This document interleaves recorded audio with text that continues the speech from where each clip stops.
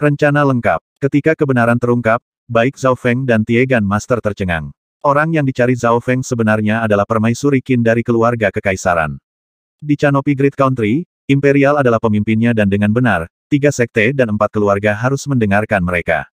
Saat dia memikirkan sampai titik ini, Zhao Feng mengerutkan alisnya dan ekspresinya berubah tiba-tiba saat dia mengingat sepotong informasi. Jika dia tidak salah, Imperial dan agama darah besi seperti api dan air. Imperial adalah pemimpin dalam nama sementara agama darah besi adalah agama yang menggunakan metode dingin untuk menghancurkan musuh mereka. Permaisuri Qin adalah orang yang mencoba merayu setiap makhluk hidup dan ingin menguasai negara. Dia adalah musuh besar dari agama darah besi. Timo berkata dengan dingin. Mendengar ini, Zhao Feng merasa gugup. Agama darah besi dan keluarga kekaisaran tempat Liu Qinxin berasal adalah musuh. Jika saya mengambil surat itu dan pergi ke Permaisuri Qin, bukankah ini berarti Zhao Feng tidak bisa tidak khawatir. Tiegan Master juga menyadari hal ini dan melihat ke arah Timo. Mata dari rambut darah diwarnai, Timo terus berkedip sebelum dia berbicara, tidak peduli apa yang telah Anda lakukan untuk agama darah besi dan saya. Saya memisahkan rasa terima kasih dan kebencian saya, jadi saya tidak akan menyusahkan Anda. Zhao Feng menghela napas saat menerima jawabannya. Dia khawatir bahwa agama darah besi akan memaksanya untuk membuat keputusan tetapi meskipun Timo tidak menyusahkan Zhao Feng, Zhao Feng merasa kepalanya sakit. Agama darah besi dan keluarga kekaisaran tidak tahan satu sama lain. Jika dia menjalin hubungan baik dengan agama darah besi, dia akan menjadi musuh keluarga kekaisaran termasuk permaisuri Qin. Namun, jika dia menyerahkan surat itu dan diselesaikan oleh keluarga kekaisaran, ini berarti dia akan menjadi musuh dari agama darah besi. Tidak peduli yang mana yang dia pilih, Zhao Feng akan menjadi musuh salah satu pihak. Setelah senjata itu dibuat, Zhao Feng segera meminta untuk pergi. Tugas terpenting di depannya saat ini adalah bagaimana melarikan diri dari pernikahan ini. Setelah mengirim Zhao Feng pergi dengan matanya, Tiegan Master bertanya, Wakil Patriak, tidakkah kamu khawatir bahwa Zhao Feng akan digunakan oleh keluarga kekaisaran? Kekuatan garis keturunan matanya luar biasa. Anda harus melihat semuanya lebih jauh. Jika aku memaksanya sekarang, dia tidak akan setia. Ditambah lagi, permaisuri Qin lahir di sini. Berapa banyak hubungan yang dia miliki dengan seseorang dari luar Canopi Great Country. Mata pria berwarna rambut darah itu dalam. Apakah Anda mengatakan bahwa Zhao Feng dan permaisuri Qin sebenarnya tidak memiliki banyak hubungan di antara mereka? Tiegan Master sepertinya mengerti. Hehe, senyuman aneh terlihat di wajah pria berambut darah itu, jawabannya akan segera terungkap. Kita lihat saja apakah saya benar atau tidak pada saat itu. Setelah kembali ke kota, Zhao Feng segera dipanggil oleh Tuan Kota. Hanya tinggal setengah bulan lagi sampai pernikahan Zhao Feng dan Liu Qinxin.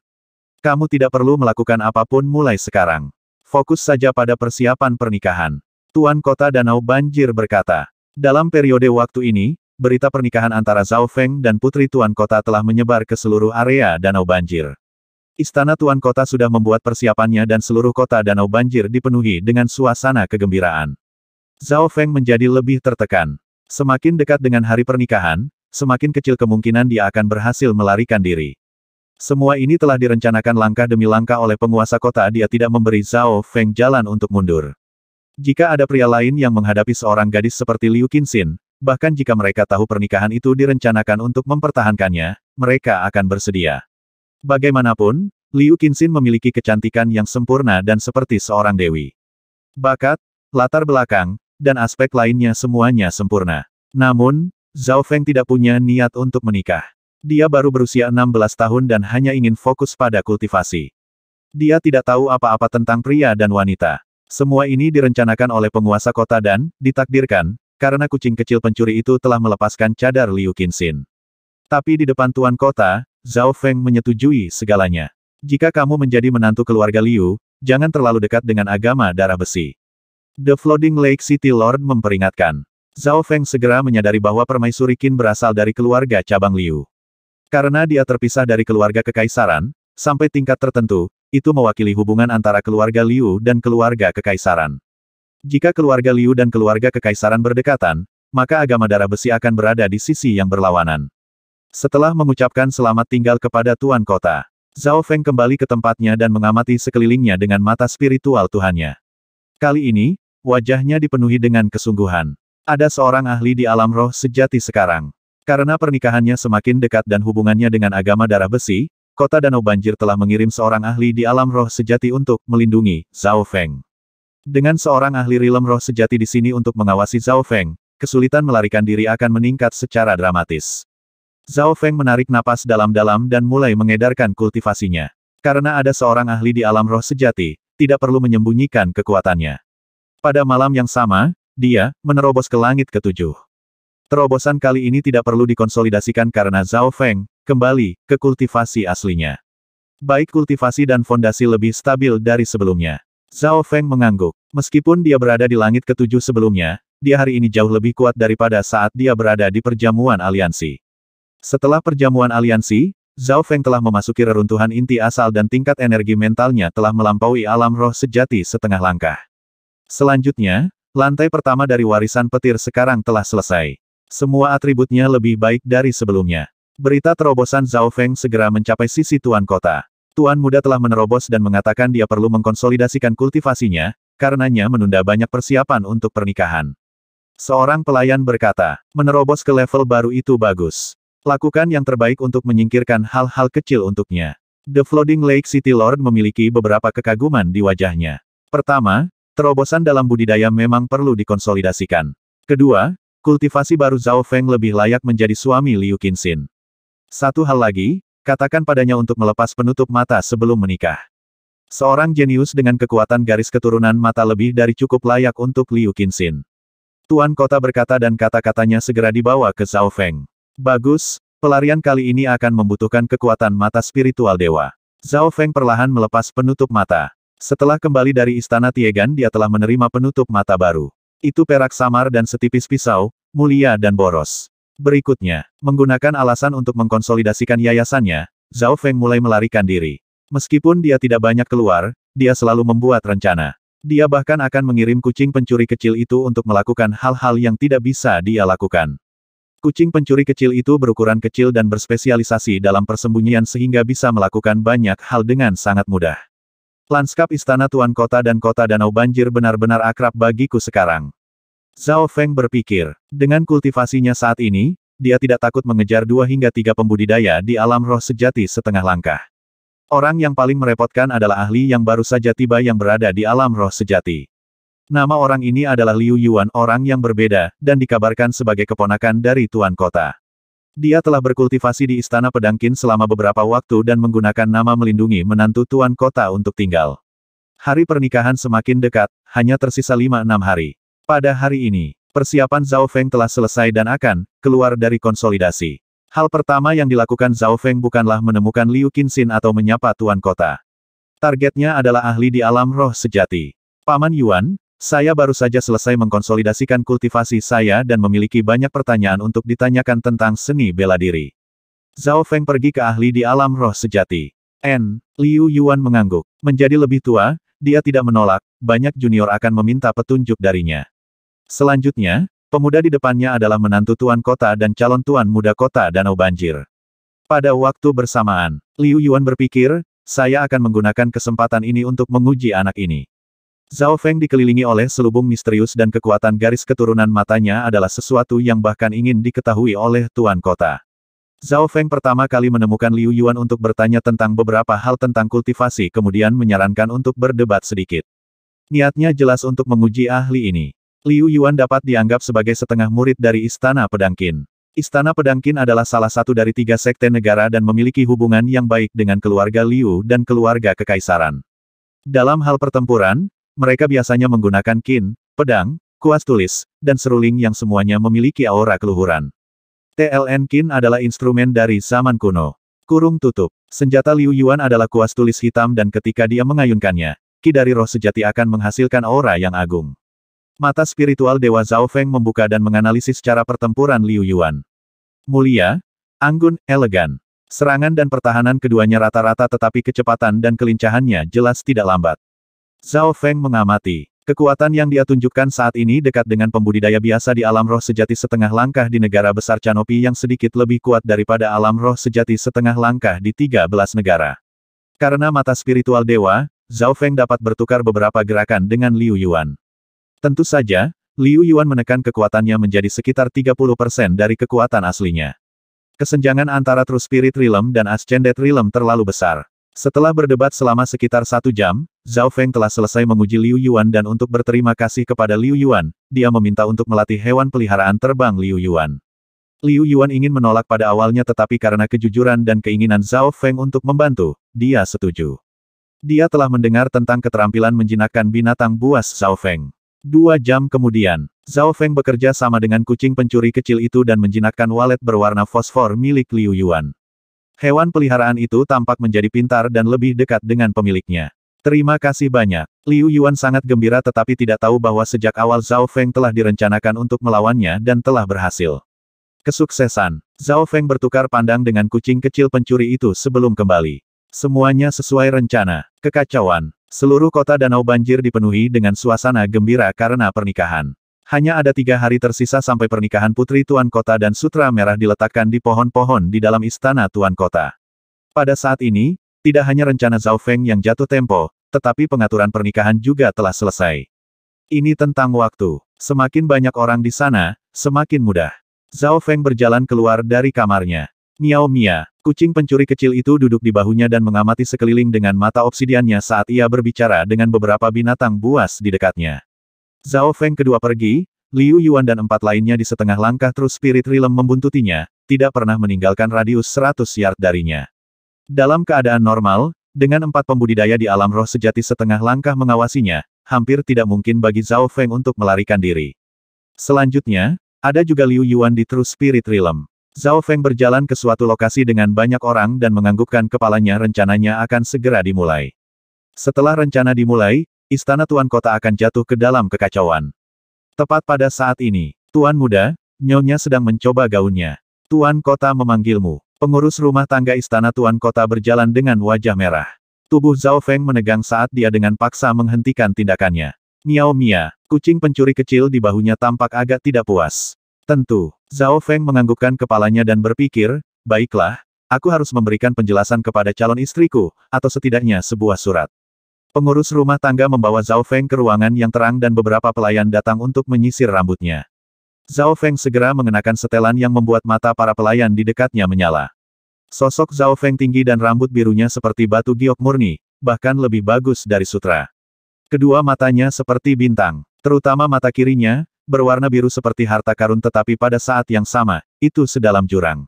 Zhao Feng diselimuti aura misterius yang aneh dan setelah mengenakan setelan itu, dia dipenuhi dengan kehangatan. Berjalan keluar dari ruangan, Zhao Feng juga melihat Liu Qinxin yang berpakaian. Alis Liu Qinxin seperti gambar, matanya seperti air. Pada saat ini, kerudungnya telah dilepas, mengungkapkan kecantikannya yang tiada taranya dan aura tenang mengungkapkan keanggunannya. Karena riasan, pipi Liu Qinxin sedikit merah, memamerkan pesona seorang gadis muda.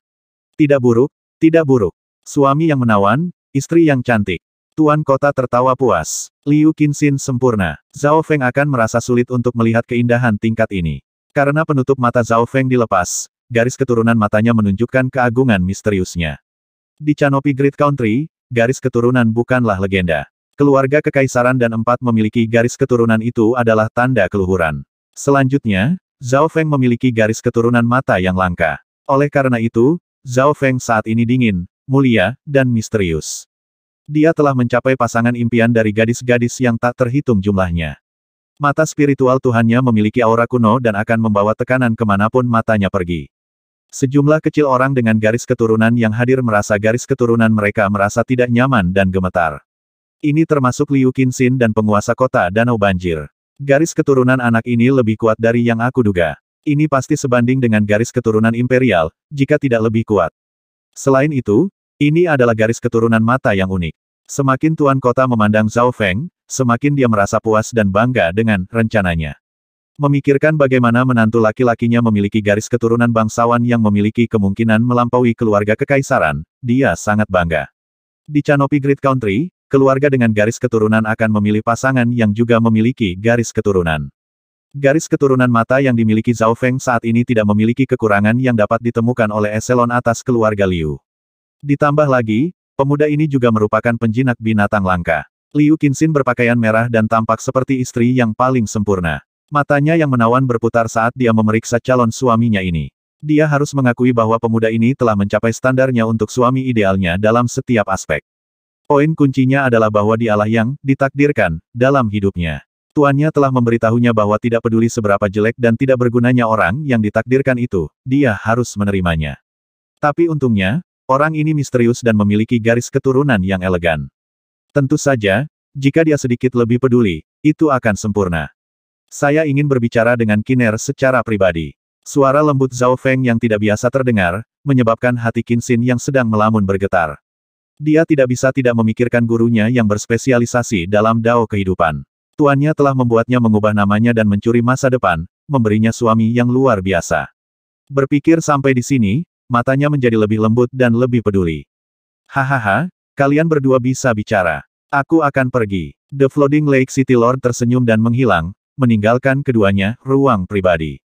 Zhao Feng ingin tuan kota pergi karena ini lebih bermanfaat untuk rencananya.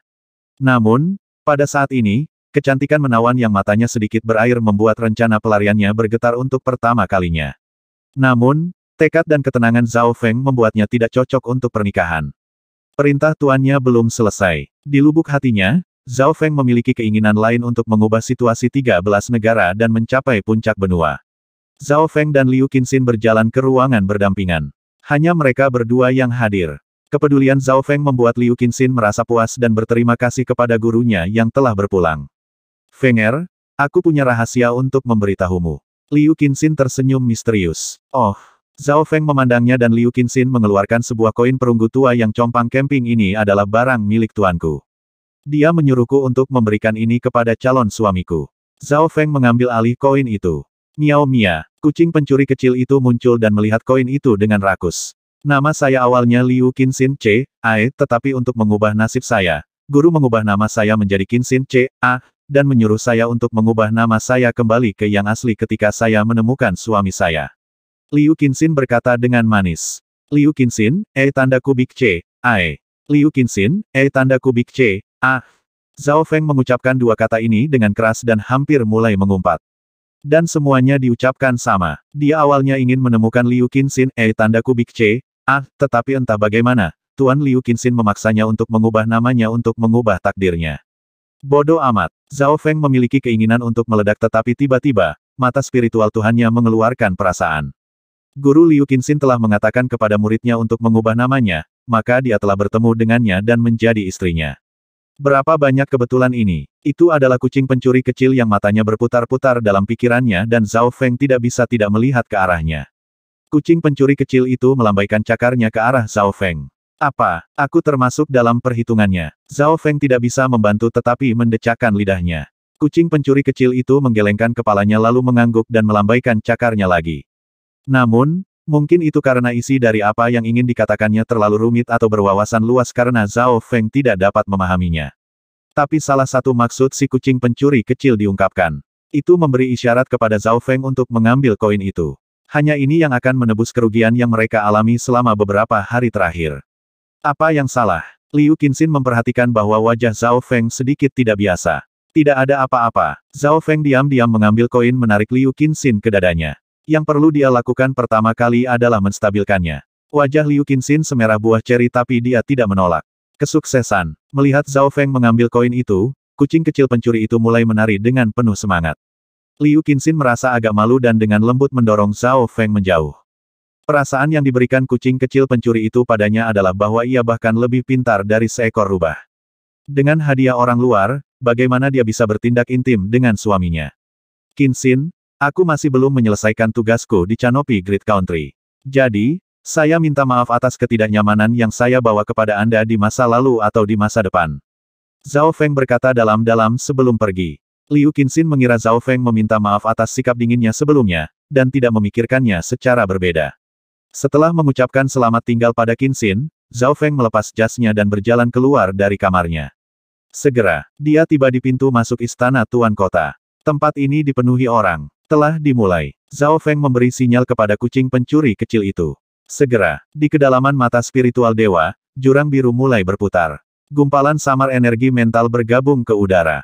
Miao Mia, kucing pencuri kecil itu melambaikan cakarnya dan karena ada banyak orang di dekatnya, Liu Yuan dan keempatnya di alam roh sejati setengah langkah tidak melihat ada yang salah.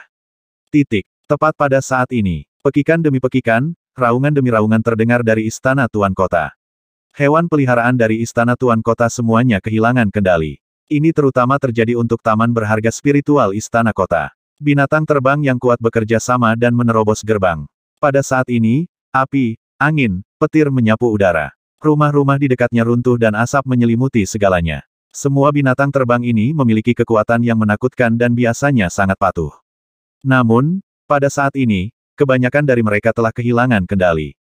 Hanya dalam rentang waktu yang singkat ini, beberapa binatang terbang telah terbang keluar dari radius istana Tuan Kota dan membawa kekacauan ke kota danau yang banjir. Di istana Tuan Kota, para pelayan dengan kultivasi yang lebih rendah semuanya bingung dan mulai berteriak ngeri. Istana Tuan Kota berada di pusat kota danau banjir dan selalu damai. Kekacauan yang tiba-tiba membawa kengerian bagi banyak orang.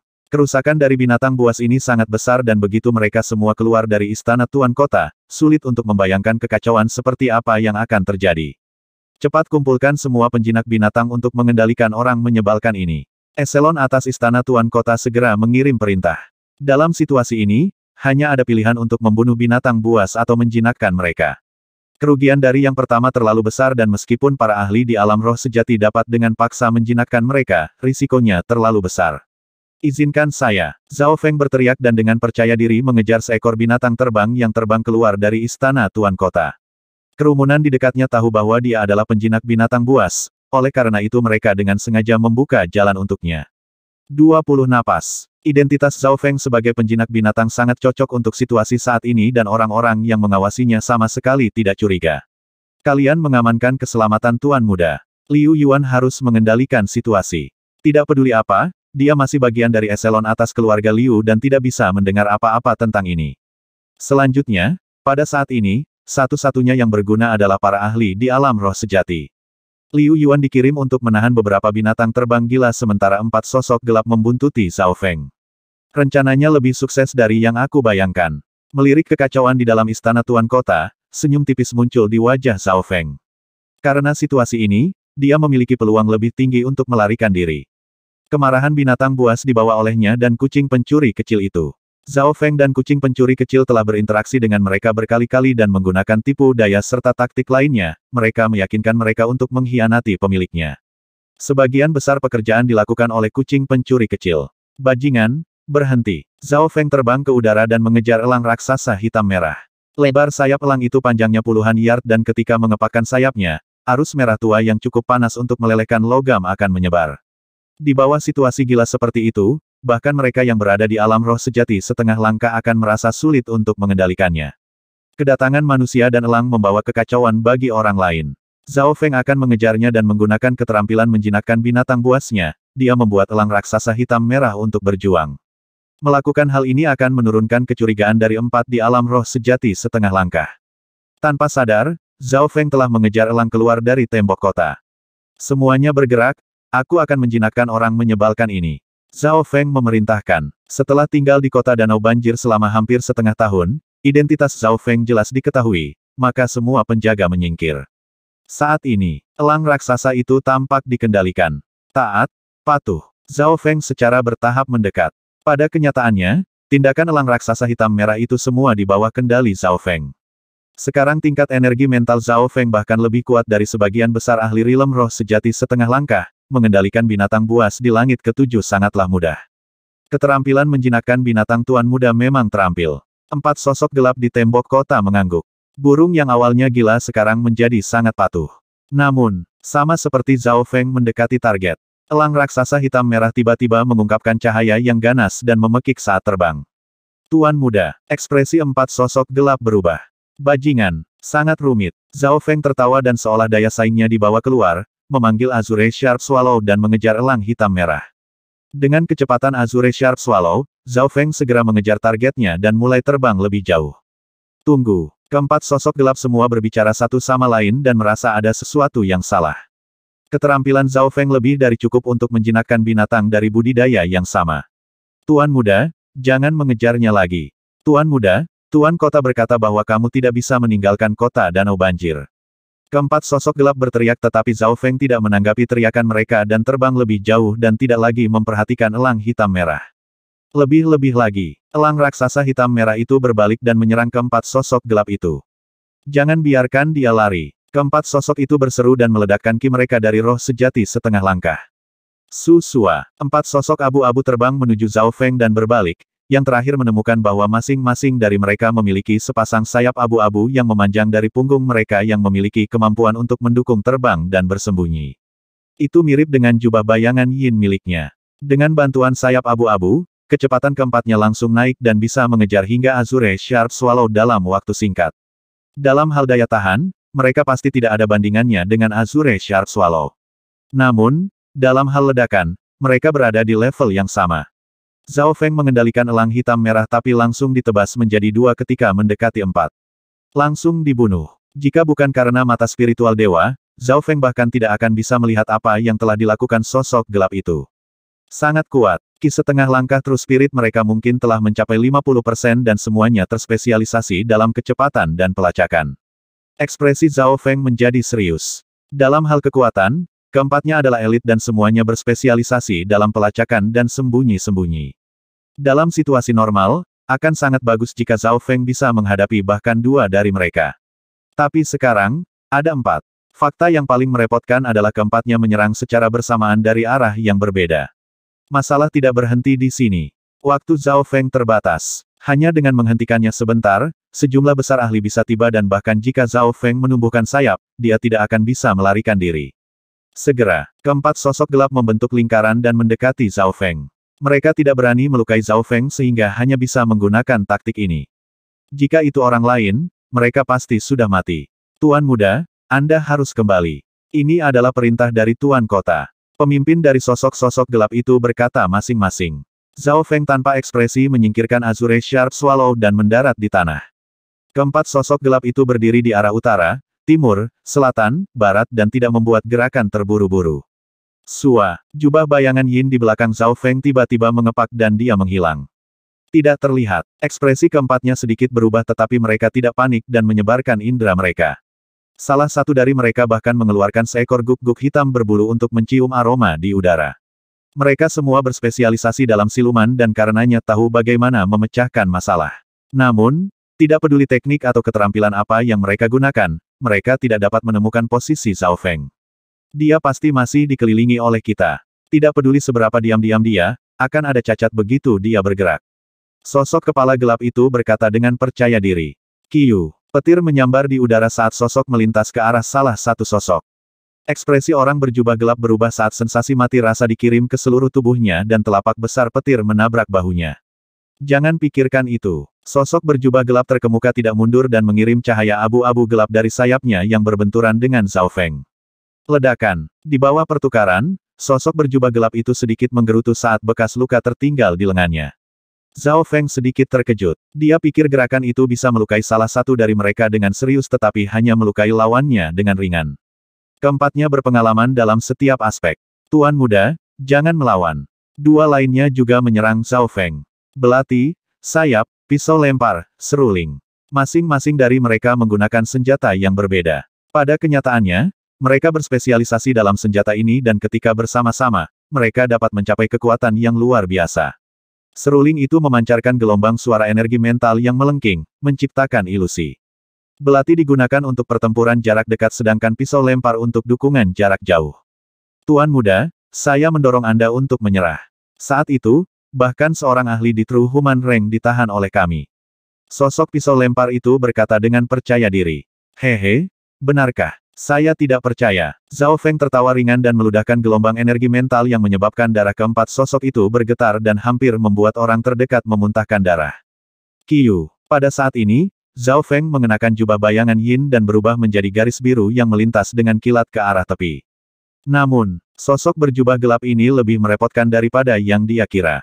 Setelah ini, orang dengan sayap melintas ke arah Zhao Feng. Dalam hal kecepatan, orang ini jelas yang tercepat dan setara dengan Zhao Feng. Pada saat yang sama, sosok pisau lempar menyerang Zhao Feng. Orang yang memegang seruling mengirimkan gelombang kejut melengking ke telinga Zhao Feng.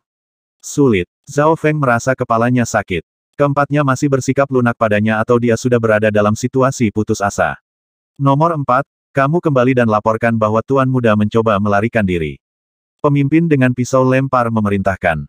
Sua, sosok dengan seruling langsung melesat ke arah kota danau banjir. Hati Zhao Feng bergetar. Keempatnya sangat berpengalaman dan bisa mengatakan bahwa serangan energi mental tidak banyak mempengaruhi Zhao Feng, oleh karena itu mereka mengirim orang itu kembali. Tiga sisanya diperlukan untuk mencegah Zhao Feng melarikan diri.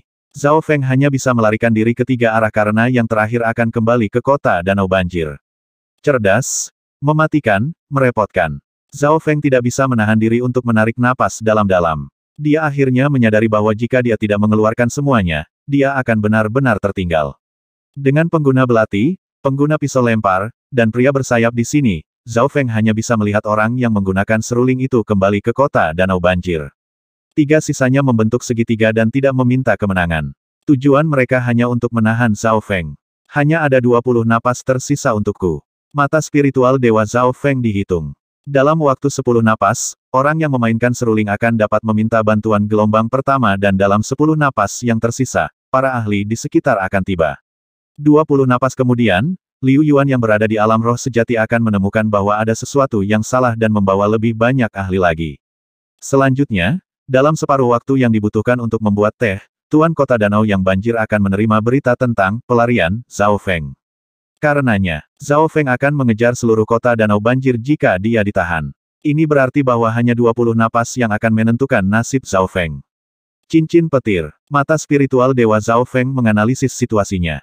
Namun, ketiga sosok gelap semua tahu ini juga. Satu-satunya tujuan mereka adalah untuk menghentikan Zhao Feng.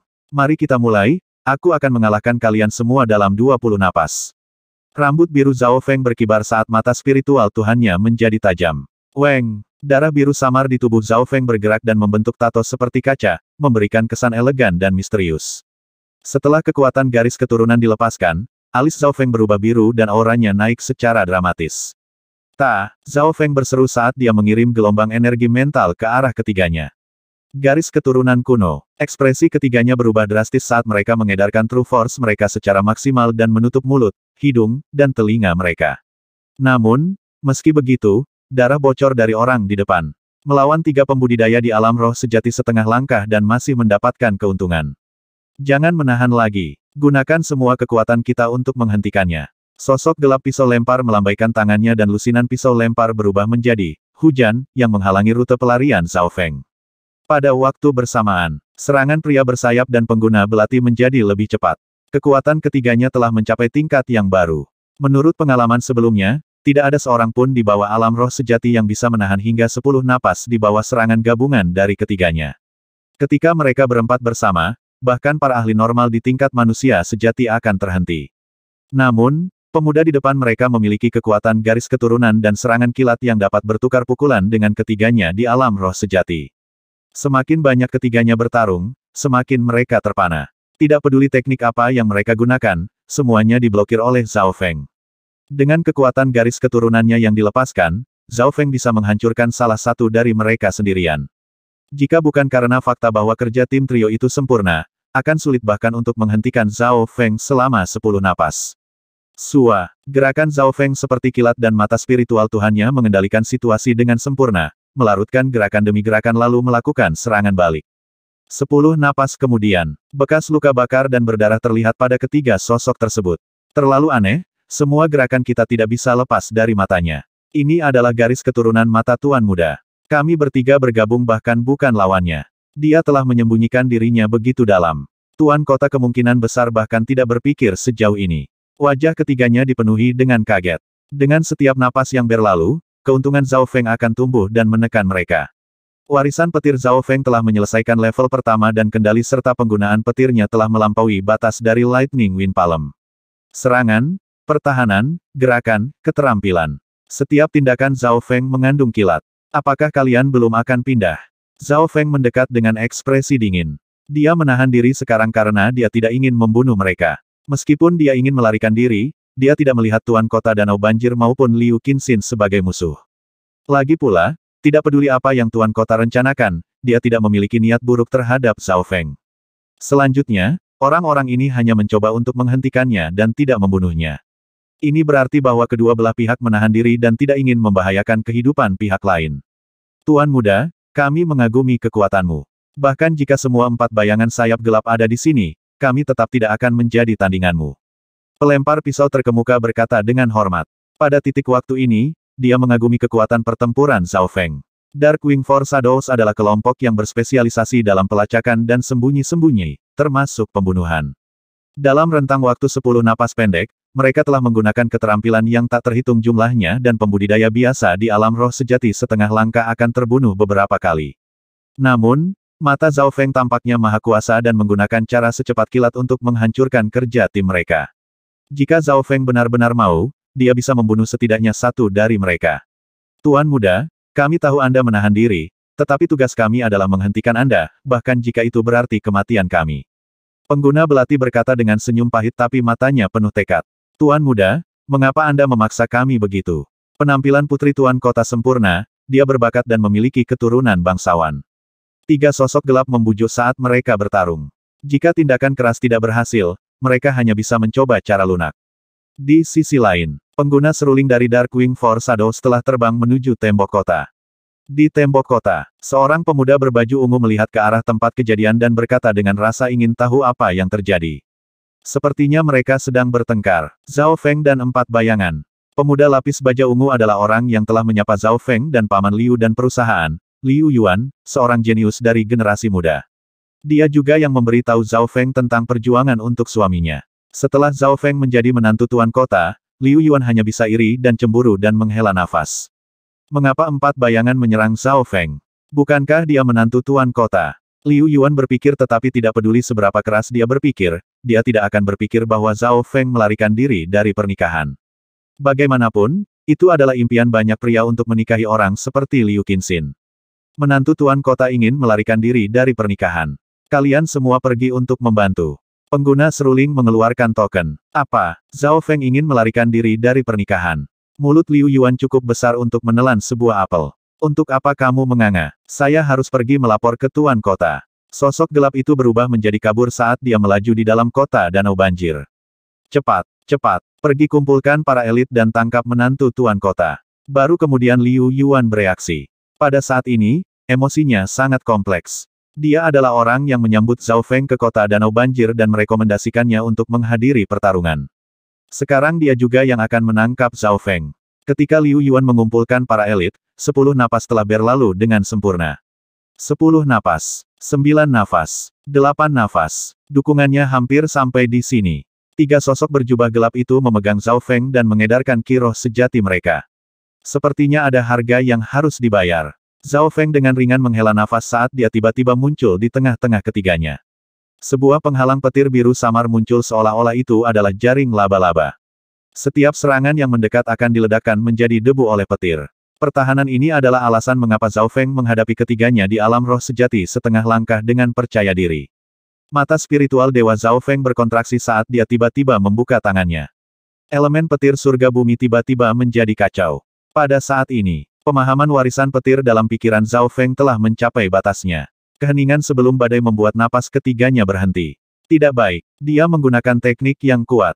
Ketiganya merasa sulit bernapas dan udara seolah mengandung sensasi mati rasa yang menyebar di antara tubuh mereka. Cincin petir. Zhao Feng merentangkan tangannya sebagai busur demi busur petir membentuk gelombang yang menyebar ke segala arah.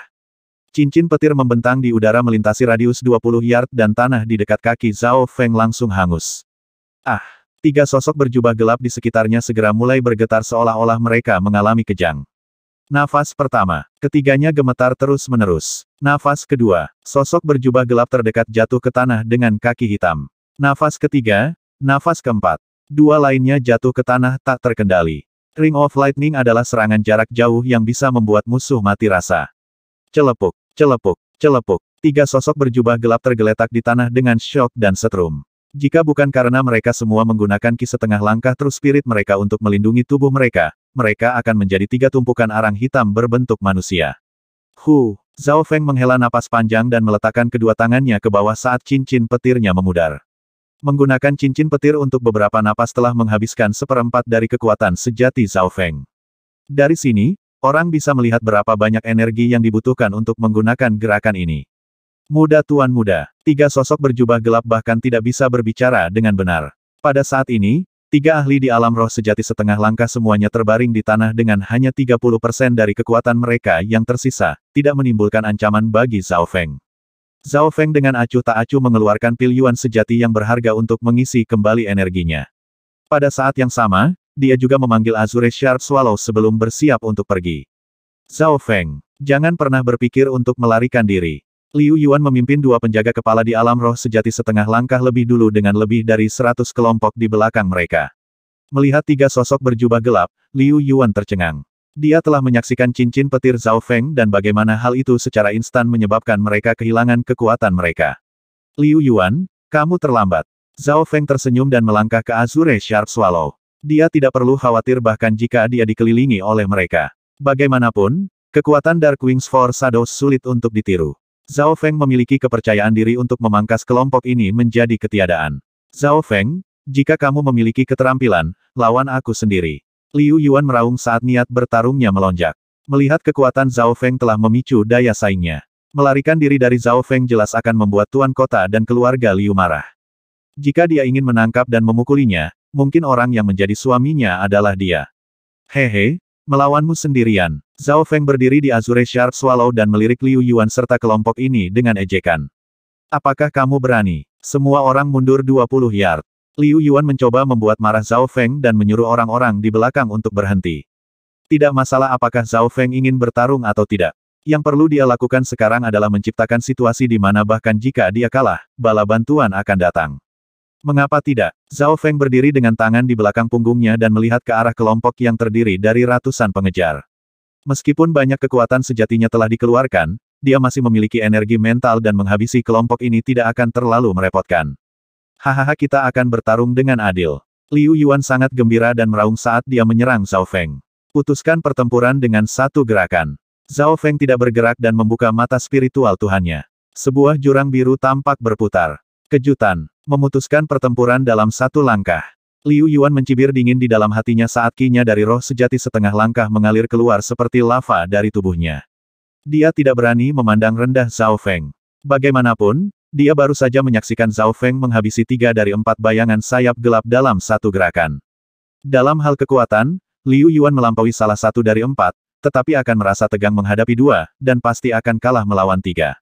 Namun, Zhao Feng pasti lelah setelah pertempuran seperti itu. Karena inilah Liu Yuan cukup percaya diri untuk menantang Zhao Feng. Tapi mengalahkanku dalam satu gerakan. Mata Liu Yuan dipenuhi dengan kedinginan saat ki dari roh sejati setengah langkah mendidih dan lapisan api merah-merah menyelimuti tubuhnya.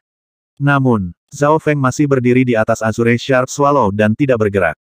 Dia tidak bergerak. Liu Yuan dan dua lainnya di alam roh sejati setengah langkah serta kelompok di belakangnya agak bingung. Wajah Zhao Feng dipenuhi dengan dingin dan ejekan dan tangannya berada di belakang punggungnya, tidak ada niat untuk dia bergerak. Apa yang dia maksud? Zhao Feng ini terlalu sombong. Liu Yuan membakar ki setengah langkah terus spiritnya dan dapat langsung memadatkan semua kekuatan pertempurannya menjadi sangat dekat dengan True Spirit Realm. Bahkan Dark Wings Force Shadows tidak berani menghadapinya secara langsung. Semua orang menatap Zhao Feng. Yang terakhir tidak melakukan gerakan apa pun. Dia hanya dengan santai menggunakan mata spiritual Tuhannya untuk memindai Liu Yuan. Ah! Kelompok di belakang merasa seolah-olah pikiran mereka telah ditarik dan mereka telah jatuh ke dalam jurang ketika mereka bersentuhan dengan mata biru itu. Mata Zhao Feng telah melihat ke arah Liu Yuan. Sulit membayangkan tekanan yang dihadapi yang terakhir. Uh, hati Liu Yuan bergetar dan kesadarannya diambil oleh Zhao Feng. Tubuh Liu Yuan menegang di udara saat dia berjuang. Satu napas, dua napas. Celepuk. Tubuh Liu Yuan jatuh dari udara dan ke tanah, seluruh tubuhnya basah oleh keringat dingin. Wajahnya pucat pasi dan dia tampak lelah. Kamu-kamu. Liu Yuan berlutut di tanah dengan ketakutan dan keterkejutan. Dia tampak sangat lelah sehingga dia bisa pingsan kapan saja. Para pengejar di belakang tercengang dan dua penjaga kepala di alam roh sejati setengah langkah mengambil napas dingin. Hanya satu pandangan dari Zhao Feng telah langsung mengalahkan Liu Yuan. Dari grup, Liu Yuan adalah yang terkuat. Kedua penjaga kepala itu sedikit lebih lemah darinya. Pemuda itu berdiri di atas Azure Sharp Swallow dengan tangan di belakang punggungnya. Rambut birunya tertiup angin, misterius dan aneh. Saya tidak berpikir energi mental saya akan meningkat begitu banyak. Zhao Feng sedikit terkejut. Dimensi dalam mata kirinya telah mencapai tujuh kaki tujuh, sepertinya dia telah mencapai batas. Di tengah jurang, cahaya biru redup sesekali akan berkedip dan auranya akan melompat ketika itu terjadi. Sejak pemahamannya di reruntuhan inti asal dan penyelesaian lantai pertama dari warisan petir, tingkat energi mental Zhao Feng telah meningkat dan tidak lebih lemah dari pembudidaya normal di alam roh sejati. Dia baru saja menggunakan mata spiritual dewa untuk menciptakan ilusi penjara untuk mengikat dan menyiksa Liu Yuan. Ini tidak menghabiskan banyak energi mental Zhao Feng. Selain itu, tingkat pemulihannya jauh lebih cepat dari sebelumnya. Jika itu masalahnya, Zhao Feng berdiri di atas Azure Shard Swallow saat dia naik ke atas. Dua ahli rilem roh sejati setengah langkah dan seratus pengejar menolak untuk menyerah. Sua, Zhao Feng dengan dingin menyapu penjaga kepala dengan mata spiritual Tuhannya. Tepuk-tepuk, dua setengah langkah terus spirit rilem jatuh dari udara, wajah mereka dipenuhi dengan keterkejutan dan rasa sakit. Tubuh mereka basah oleh keringat dingin. Seolah-olah tulang mereka akan hancur berantakan. Mata spiritual Dewa Zhao Feng telah mengimprovisasi mata absen surgawi Lintong untuk membuat gerakan yang lebih cocok untuk mata spiritual Dewa. Mata spiritual Dewa melebihi garis keturunan mata Lintong dalam hal bakat dan sumber energi mental. Zhao Feng bisa membuat penjara ilusi dengan pikiran dan bisa langsung menyiksa musuh. Waktu di dunia energi mental berbeda dari kenyataan. Sekejap mata pada kenyataannya bisa menjadi satu jam di dunia energi mental menghabiskan tingkat energi mental musuh ke tingkat di mana mereka tidak dapat menopang tubuh mereka lagi. Energi mental adalah sumber kehidupan. Bahkan jika tubuh seseorang atau kekuatan sejati sekuat surga, mereka hanyalah sekelompok tulang dan daging ketika kesadaran energi mental mereka dihancurkan. Mata spiritual Dewa Zhao Feng telah melirik Liu Yuan dan dua pembudidaya lainnya di alam roh sejati setengah langkah dan langsung mengalahkan mereka. Zhao Feng, Liu Yuan dipenuhi dengan keringat dingin dan rasa sakit menyelimuti tubuhnya. Zhao Feng berdiri dengan tangan di belakang punggungnya saat dia menghilang ke langit. Tiga sosok berjubah gelap dan Liu Yuan dan teman-temannya hanya bisa menyaksikan Zhao Feng menghilang. Liu Yuan dipenuhi dengan emosi yang kompleks saat kepahitan menutupi bibirnya. Memikirkan kembali, dia telah menyapa pemuda ini ke kota Danau Banjir. Tapi hari ini, dialah yang secara pribadi, mengirim, Zhao Feng. Ini berarti bahwa dia telah menyaksikan perjalanan yang dilakukan pemuda ini di kota Danau Banjir. Semuanya dari awal sampai akhir. Saya tidak berpikir, bahwa dia telah menyembunyikan begitu banyak kekuatan. Teknik energi mental. Dia tidak menggunakan ini ketika dia melawan kita sebelumnya. Tiga sosok berjubah gelap yang mati rasa dipenuhi dengan kepahitan dan kaget. Tentu saja, tidak cocok bagi Zhao Feng untuk menggunakan taktik ini melawan mereka karena kerja sama tim dari empat bayangan sayap gelap sempurna dan penjara ilusi yang diciptakan Zhao Feng membutuhkan seseorang untuk berkonsentrasi. Zhao Feng harus benar-benar berkonsentrasi dalam satu atau dua napas ini. Meskipun dia bisa langsung mengalahkan salah satu dari mereka dengan sekali pandang, yang lain memiliki beberapa peluang untuk menangkapnya. Inilah mengapa ketika Liu Yuan meminta pertarungan satu lawan satu dan pertarungan yang adil, wajah Zhao Feng dipenuhi dengan ejekan. Di tanah, seratus pengejar berdiri di tanah yang hangus. Tidak ada seorang pun di bawah setengah langkah terus spirit realm yang bisa mengejar Zhao Feng dan bahkan jika mereka melakukannya, mereka tidak dapat memblokir pandangan miliknya.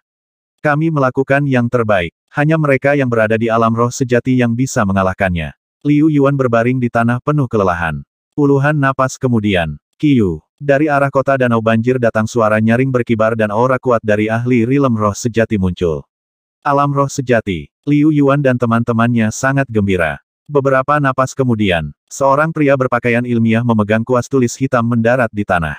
Apa yang terjadi? Ke mana Zhao Feng pergi? Paman Liu Yuan. TLN Liu Yuan ini adalah alam roh sejati Liu Yuan yang mengawasi Zhao Feng sebelumnya. Mata Liu Yuan merah dan air mata hampir keluar. Orang di alam roh sejati ini adalah Liu Yuan dan karena kultivasinya dia harus pergi membantu dengan binatang buas. Namun, setelah beberapa saat dia kehilangan sosok Zhao Feng dan segera pergi untuk menemukannya dan menemukan reporter dari Dark Wings for Shadows di tengah jalan. Sayap gelap empat bayangan. Dan kalian enam ahli rilem roh sejati setengah langkah dari penjaga kota. Semuanya kalah dari satu orang itu. Wajah Liu Yuan, alam roh sejati, dipenuhi dengan ketidakpercayaan. Tatapannya beralih ke tanah hangus yang masih merupakan jurang asap. Kerusakan yang terjadi sangat mengerikan. Di tanah yang hangus ada tiga sosok berjubah gelap yang masih mati rasa dan memulihkan kekuatan sejati mereka. Liu Yuan, alam roh sejati, tidak menemukan luka serius pada mereka-mereka hanya lelah. Hanya dia saja, bagaimana ini mungkin? Liu Yuan, alam roh sejati, sedikit bingung. Dia tidak percaya adegan ini ditinggalkan oleh junior dari langit ketujuh. Jika Liu Yuan, alam roh sejati setengah langkah, mengatakan bahwa ini disebabkan oleh seorang kultivator di alam roh sejati, dia akan mempercayainya tanpa keraguan. Hanya dalam 20 hingga 30 napas pendek, empat bayangan sayap gelap, Liu Yuan, dan para pengejar lainnya telah dikalahkan. Bahkan pembudidaya di True Human Rank mungkin tidak secepat itu. Ini terutama berlaku untuk Dark Wings for Shadows. Kekuatan gabungan mereka bahkan bisa menghentikan beberapa pembudidaya True Human Rank untuk sementara waktu. Formasi yang begitu kuat telah dihancurkan oleh seorang pemuda. Ke arah mana Zhao Feng melarikan diri? Setelah mengetahui apa yang terjadi, Liu Yuan alam roh sejati, berubah menjadi sinar cahaya putih dan menghilang ke awan. Mereka yang berada di alam roh sejati bisa terbang di udara untuk waktu yang singkat dengan kecepatan yang luar biasa. Apa pun yang terjadi selanjutnya tidak ada hubungannya dengan kita lagi. Kita masih perlu meminta Tuan Kota untuk menghukum kita. Sosok berjubah gelap itu dipenuhi dengan kepahitan. Semakin lama semakin banyak orang yang datang. Bahkan ada beberapa contoh sosok alam roh sejati yang muncul. Tanpa kecuali, semua orang yang datang dikejutkan oleh pemandangan itu. Seorang pemuda yang sangat sedikit di langit ketujuh memiliki kekuatan seperti itu. Menantu tuan kota akan lolos dari pernikahan. Sungguh lelucon. Setelah binatang buas distabilkan, gelombang diskusi lain muncul di kota Danau Banjir dan segera mencapai istana tuan kota. Istana Tuan Kota. The Floating Lake City Lord berdiri dengan tangan di belakang punggungnya. Di depannya ada sosok berjubah gelap yang gemetar. Melarikan diri dari pernikahan. Dia berani lari. Seorang junior yang sangat sedikit di langit ketujuh melarikan diri darimu. Wajah yang semula tenang dari tuan kota danau banjir sekarang menjadi sedingin es. Dadanya naik turun dengan setiap napas dan api yang mengamuk menyala di dalam dirinya. Pangkat manusia sejati di dekatnya bahkan tidak berani menarik napas. The Floating Lake City Lord adalah anak ajaib dari keluarga Liu dan dikenal karena kelembutannya. Ini adalah pertama kalinya mereka melihat Tuan Kota mencapai tingkat di mana kemarahannya tidak terkendali. Melaporkan kepada Tuan Kota, Zhao Feng mengalahkan tiga dari empat bayangan sayap gelap. Melaporkan kepada Tuan Kota, Zhao Feng mengalahkan Liu Yuan dan teman-temannya yang semuanya telah mencapai setengah langkah alam roh sejati dan meninggalkan Azure Sharp Swallow-nya. Tidak ada yang bisa menghentikannya. Melapor kepada Tuan Kota, Sir Liu Yuan alam roh sejati, secara pribadi pergi untuk menangkap Zhao Feng. Berita demi berita menyebar ke istana Tuan Kota. Setiap berita menyebabkan kemarahan Tuan Kota meningkat. Gabungan Dark Wings for Shadows dikalahkan olehnya secara langsung. Liu Yuan dan teman-temannya tidak bisa menahan pandangannya. Tanda seru. Raungan Tuan Kota terdengar di seluruh istana Tuan Kota. Pada saat ini, awan di atas City Lord Palace tampak bergetar, seolah-olah menunjukkan kemarahan tak terbatas dari Floating Lake City Lord. Kirim perintah untuk menangkap Zhao Feng. Sebuah suara marah bergema di langit. Seorang tetua dari True Mystic Rank berkata pelan, satu-satunya orang yang bisa mengejar Zhao Feng adalah Liu Yuan True Spirit Realm. Itu benar, selama Liu Yuan alam roh sejati, bisa mengejar, Zhao Feng tidak akan bisa kabur. Banyak yang menaruh harapan pada Liu Yuan, alam roh sejati. Melihat situasi saat ini, hanya mereka yang berada di alam roh sejati yang bisa menghadapi Zhao Feng. 275. Melawan ahli alam roh sejati. Azure Sharp Swallow terbang bebas di udara dan Zhao Feng berdiri di punggungnya.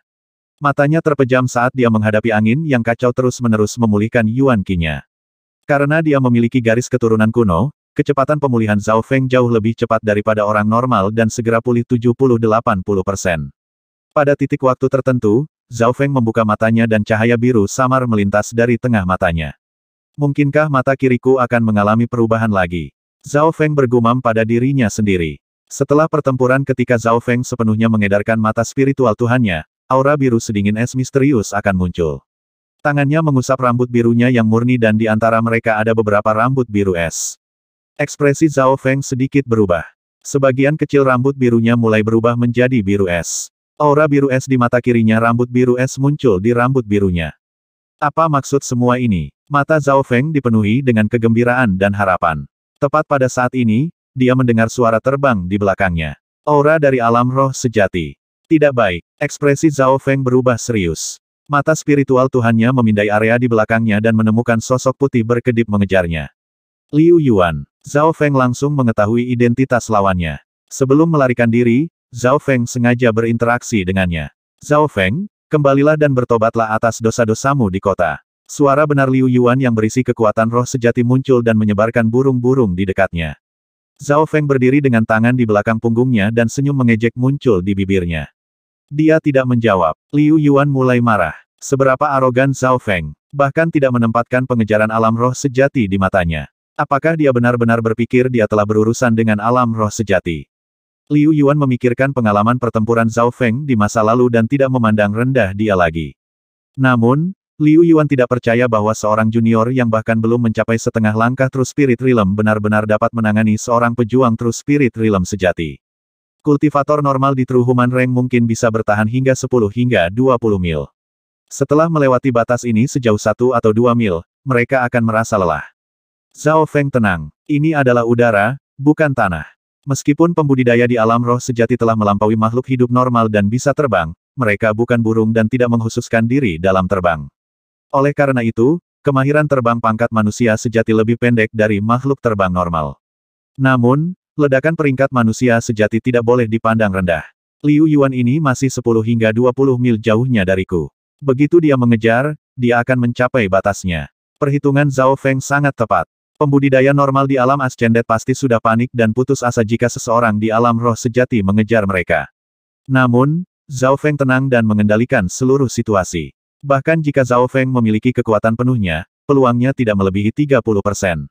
Liu Yuan bukan orang yang terbelakang dan tidak terus menghabiskan kiroh sejatinya. Dia mengeluarkan, walet berwarna fosfor miliknya. Walet berwarna fosfor ini berukuran sekitar sama dengan walet tajam Azure dan budidayanya telah mencapai setengah langkah alam roh sejati. Di bawah kecepatan penuh, itu bahkan sedikit lebih cepat daripada Azure Sharp Swallow. Saat jarak antara keduanya semakin dekat, Liu Yuan tersenyum Zhao Feng, kamu tidak punya harapan lagi. Menyerah saja, Zhao Feng tidak melakukan apa-apa dan melihat Liu Yuan mendekatinya. Aura alam roh sejati membuat Azure Sharp Swallow di bawahnya bergetar. Segera, Liu Yuan berada dalam jarak 10 mil dari Zhao Feng dan senyumnya menjadi semakin percaya diri. Tepat pada saat ini, Zhao Feng bersiul dan mata spiritual Tuhannya mengeluarkan bisikan aneh. Detik berikutnya, walet berwarna fosfor memekik dan di antara lampu yang berkedip, itu berubah menjadi angin yang mengamuk. Walet berwarna fosfor, apa yang terjadi? Liu Yuan tertangkap basah. Saat walet berwarna fosfor menyentuhnya, itu menyerang dengan kacau dan bahkan meninggalkan beberapa luka ringan padanya. Selanjutnya, Walet berwarna fosfor kehilangan akal sehatnya dan menabrak gunung di bawah, menghancurkan tulang-tulangnya. Angsa, Liu Yuan penuh dengan kesedihan dan mengunci Zhao Feng dengan mata beracun junior yang tak tahu malu, beraninya kau menipu hewan peliharaanku. Dia tiba-tiba teringat bagaimana Zhao Feng menyarankan untuk membantu menjinakkan binatang buasnya. Pada saat itu, Liu Yuan tidak curiga. Bagaimanapun, itu menjadi lebih pintar dan lebih patuh. Selain itu, tidak ada yang akan pernah berpikir bahwa Zhao Feng akan melarikan diri dan mengkhianati tuan kota danau banjir. Setelah kehilangan kudamu, bagaimana kamu akan mengejarku? Zhao Feng tersenyum tipis. Perencanaannya tepat dan setiap kemungkinan dipikirkan. Ini terutama berlaku untuk Liu Yuan, dia adalah ahli yang paling mungkin di alam roh sejati yang akan dihadapi Zhao Feng. Begitu dia menyusulnya, rencana Zhao Feng akan gagal. Sepuluh mil untuk menangkapmu, itu lebih dari cukup. Liu Yuan dengan ringan berseru dan cahaya putih terang bersinar dari tubuhnya. Pembudidaya normal di alam roh sejati bisa bertahan dari 10 hingga 20 mil dan saat ini, kecepatan Liu Yuan lebih cepat daripada Azure Sharp Swallow. Tapi seiring berjalannya waktu, kecepatannya secara bertahap akan melambat. Saat Liu Yuan hendak mendekat ke radius beberapa mil. Hehe, aku akan menunggunya. Zhao Feng tertawa ringan dan Lohou Bo muncul di tangannya. Dalam hal serangan jarak jauh, mereka yang berada di alam roh sejati bahkan tidak bisa dibandingkan dengan busur. Zhao Feng mengedarkan kekuatan sejati dan kekuatan garis keturunannya, menyebabkan busur petir mengelilingi busur lohounya dan lapisan es menyelimuti tubuh Zhao Feng. Gumpalan petir yang tajam muncul di ujung panah lohou dan angin puyuh terbentuk di ujung lainnya. Beng Sou Sou Sou. Tiga anak panah yang dipenuhi dengan rasa dingin dan kilat melintas di udara dengan kelincahan yang luar biasa, dengan mudah melakukan perjalanan beberapa mil. Liu Yuan hanya merasakan senandung petir dan dingin yang datang dari depannya. Meskipun dia sangat gesit dan cepat di udara, dia tidak bisa menghindari tiga panah Lohou yang telah melebihi kecepatan suara. Setelah penyempurnaan, level Lohou Bow telah mencapai level puncak Mortal Grade dan dengan Lohou Arrows, itu pasti telah mencapai batas senjata kelas mortal. Zhao Feng mengedarkan garis keturunannya dan menggabungkan pemahaman warisan petirnya ke dalam setiap panah. Setiap Loho Arrow memiliki kemampuan untuk membunuh seorang kultivator di langit ketujuh dan bahkan kultivator normal di setengah langkah True Spirit Realm. Bahkan seseorang sekuat Liu Yuan merasakan beberapa ancaman dari panah. Dia dengan ringan menarik napas dan mengeluarkan blues on tulisan hitam. Dengan gelombang yang kuat, kilatan cahaya putih sepanjang 20 yard menyebar. Serangan terburu-buru Liu Yuan bahkan lebih kuat dari cincin petir Zhao Feng. Ding Tapeng. Panah Lohou bentrok dengan serangan Liu Yuan dan rasa dingin yang mengerikan dan bola petir meledak. Liu Yuan dapat dengan mudah menangani serangan busur Lohou, tetapi bagian yang menakutkan adalah elemen es dan kilat. Setiap kali dia menghadapinya, kecepatannya akan melambat. Selanjutnya, Lohou Arrows milik Zhao Feng akan langsung kembali ke pemiliknya. Panah demi panah menembus ke udara menuju Liu Yuan. Liu Yuan tidak hanya perlu terbang, dia masih harus menghadapi keterampilan memanah yang merepotkan yang memperlambatnya. Hanya dalam sepuluh napas, Liu Yuan mengacak-acak dan dipenuhi dengan keterkejutan dan kemarahan. Jika itu di tanah, dia pasti sudah bergegas dan dengan mudah menghabisi tiga sampai lima setengah langkah terus Spirit Realm dalam sekejap. Namun, ini berada di wilayah langit, pertempuran di langit. Zhao Feng berdiri di atas Azure Sharp Swallow dan dia tidak perlu mengeluarkan True Force untuk terbang, jadi sejak awal, dia memegang keuntungan. Junior, jangan biarkan aku menangkapmu. Liu Yuan dengan marah mengedarkan Key of True Spirit-nya dan hampir mulai membakarnya. Saat itu, penatua pertama dari klan bulan rusak telah membakar Kiro sejatinya untuk membunuh seorang ahli di alam roh sejati dari negara naga besi dan memberi klan bulan patah waktu untuk melarikan diri.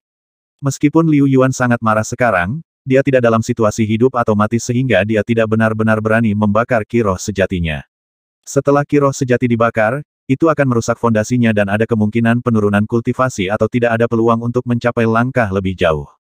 Datang tanpa batas mendekati membakar kiroh sejatinya, kecepatan Liu Yuan sekali lagi meningkat. Zhao Feng menembakkan tiga panah secepat kilat dan ini diambil langsung oleh Liu Yuan, memberikan yang terakhir beberapa cedera kecil saat dia mendekat. Dua mil lagi, Zhao Feng memiliki ekspresi serius saat dia menarik napas dalam-dalam dan berteriak, mengirimkan gelombang energi mental. Dia jelas tidak berharap untuk berurusan dengan Liu Yuan dengan ini. Mata spiritual Tuhannya tiba-tiba terbuka secara maksimal. Mata kirinya yang biru sepertinya mengandung jurang yang terus memanjang. Hati Liu Yuan bergetar dan kesadarannya berjuang. Uh, Zhao Feng merasa sangat merepotkan saat dia terus menciptakan ilusi mental untuk mencoba dan menarik kesadaran energi mental Liu Yuan ke dalam. Ini beberapa kali lebih sulit daripada yang ada di setengah langkah terus Spirit Realm. Pada titik waktu ini, mata spiritual Tuhannya telah mencapai tingkat yang belum pernah dicapai sebelumnya. Weng, jurang biru tiba-tiba mengeluarkan cahaya biru redup dan kekuatan mata spiritual dewa naik setengah tingkat lagi. Sua, Liu Yuan memiliki perasaan bahwa dimensi berubah dan dia berada di penjara yang penuh dengan kilat. Di bawah kakinya dengan jurang yang tak terduga dan di atas kepalanya ada awan petir. Tempat ini adalah Liu Yuan tercengang. Dia telah jatuh ke dalam energi mental lawan. Di dalam dimensi mata spiritual Dewa Zhao Feng, kesadaran Liu Yuan akan menghadapi siksaan tanpa batas. Namun, Zhao Feng sudah sangat beruntung untuk menarik kesadaran lawannya ke dalam ilusi mental. Energi mental yang dibutuhkan untuk mempertahankan dimensi ini lebih dari 10 kali diperlukan untuk menopang seorang kultivator normal di langit ketujuh. Perlawanan dari alam roh sejati seperti lautan. Sebuah napas kemudian, keringat dingin muncul di kepala Zhao Feng dan dia merasa lemah. Pada saat yang sama, Liu Yuan keluar dari penjara ilusi mental dengan penghinaan, kemarahan, kelemahan tertulis di wajahnya. Seorang ahli yang maha kuasa di alam roh sejati telah disiksa oleh Zhao Feng selama dua jam. Tidak mungkin untuk mengungkapkan penghinaan ini. Peringkat Tuan sejati baru. Di udara, Zhao Feng berdiri di atas Azure Sharp Swallow. Warna jurang biru di mata kirinya telah redup. Menciptakan penjara ilusi mental dengan mata spiritual Tuhannya telah membebaninya dan energi mental yang dikeluarkan beberapa kali lipat daripada ketika dia menggunakannya untuk melawan mereka yang berada di alam roh sejati setengah langkah. Meskipun Zhao Feng memiliki sumber energi mental yang besar, dia masih merasa lelah. Poin kuncinya adalah dia telah menyiksa Liu Yuan di dimensi energi mental selama dua jam penuh dan bahkan tidak melemahkan musuh hingga batasnya. Aura alam roh sejati mengalir di udara, tetapi tidak sekuat sebelumnya. Kiroh sejati yang mengelilingi Liu Yuan telah jatuh. Dalam napas saat itu, tubuhnya telah jatuh, menciptakan celah yang lebih besar di antara mereka. Kesadaran energi mental Liu Yuan melemah dan dia kelelahan. Saat ini, dia hanya memiliki 70% dari kekuatan penuhnya yang tersisa. Menambah jarak di antara mereka menjadi lebih besar dan dia hampir membakar kiroh sejatinya, dia tidak punya banyak energi tersisa. Liu Yuan dan Zhao Feng saling memandang saat jarak di antara mereka melebar. Dalam pertempuran panjang, perbedaan dalam memiliki kuda sangat jelas. Hanya mereka yang berada di True Lord Rank yang bisa bertarung di udara untuk waktu yang lama. Bocah tak tahu malu. Liu Yuan menggertakkan giginya dan memiliki tatapan beracun tetapi di matanya, ada ketidakberdayaan. Sejak hari di Istana Tuan Kota, Zhao Feng telah menghitungnya untuk hari ini. Pada saat ini, dia hanya bisa menatap Zhao Feng yang akhirnya berubah menjadi titik hitam yang menghilang. Liu Yuan lemah dan tak berdaya. Dadanya terbakar amarah. Seorang kultivator di alam roh sejati telah mengejar seorang junior di langit ketujuh dan telah gagal. Jika Liu Yuan tidak menyusul, itu tidak akan menjadi masalah. Namun, dia telah menyusul Zhao Feng dan telah bertukar pindah tetapi orang yang dirugikan adalah dia. Zhao Feng duduk di Azure Sharp Swallow dan melebarkan jarak hingga 100 mil sebelum memindai sekelilingnya dengan mata spiritual Tuhannya. Yakin bahwa tidak ada yang mengikutinya, Zhao Feng menyingkirkan Azure Sharp Swallow kemudian menggunakan jubah bayangan yin miliknya untuk menghilang ke dalam hutan. Selama orang-orang di alam roh sejati tidak tahu posisi tepatnya, akan sulit untuk menemukannya. Zhao Feng bisa menggunakan kekuatan jubah bayangan yin untuk benar-benar menyembunyikan dirinya. Karena alasan inilah Zhao Feng memilih untuk melawan Liu Yuan dan tidak menggunakan jubah bayangan yin untuk bersembunyi terlebih dahulu. Karena dia tidak memiliki kuda dan telah terbang jauh, Liu Yuan telah menghabiskan banyak energi dan dia perlahan-lahan mendarat di tanah. Dalam setengah waktu yang dibutuhkan untuk membuat teh, Su, aura alam roh sejati muncul dari belakang. Pendatang baru itu adalah orang berbaju hitam yang auranya berada di tingkat manusia sejati dan bahkan lebih kuat dari Liu Yuan. Yang terakhir tahu orang ini. Dia adalah pemimpin pertahanan kota Danau Banjir. Pada saat ini ketika Liu Yuan menghadapi seseorang dari generasi dan kultivasi yang sama, dia memiliki rasa bersalah dan kekalahan tertulis di wajahnya. Dia bahkan tidak tahu bagaimana memulainya. Pemimpin lapis baja hitam memindai Liu Yuan di bawah dengan ekspresi agak terkejut. Yang terakhir terlihat sangat lemah dan pakaiannya compang camping. Bahkan ada bekas luka bakar di wajahnya. Kakak Liu, ke mana bocah itu lari? Apakah Anda bertemu dengan ahli lain di alam roh sejati? Pemimpin lapis baja hitam memiliki ekspresi serius. Di bawah situasi ini, hanya kultivator lain di alam roh sejati yang dapat menyebabkan ini. Dia memahami kekuatan Liu Yuan, dia telah berkultivasi di Istana Pedang Qin dan berspesialisasi dalam gerakan. Dia bahkan bisa menangani dua true human rank yang normal dalam waktu singkat. Pertanyaan ini menyebabkan wajah Liu Yuan menjadi merah dan dia berbicara dengan kepahitan dan rasa bersalah tidak ada pembudidaya alam roh sejati lainnya di sini. Bocah itu melarikan diri. Bagaimana ini mungkin? Mata pemimpin lapis baja hitam terbuka lebar, seolah-olah dia tidak percaya hasil ini. So so so. Tepat pada saat ini, beberapa suara terbang muncul. Beberapa kuda terbang yang lebih cepat telah tiba. Kelompok pertama yang datang hampir semuanya berada di setengah langkah alam roh sejati dan langit ketujuh. Ada juga orang lain di alam roh sejati. Mereka sangat terkejut ketika mereka melihat sosok Liu Yuan yang berjiwa dan mengacak-acak. Zhao Feng pergi ke arah itu, tapi sulit untuk mengatakan ke arah mana dia akan pergi.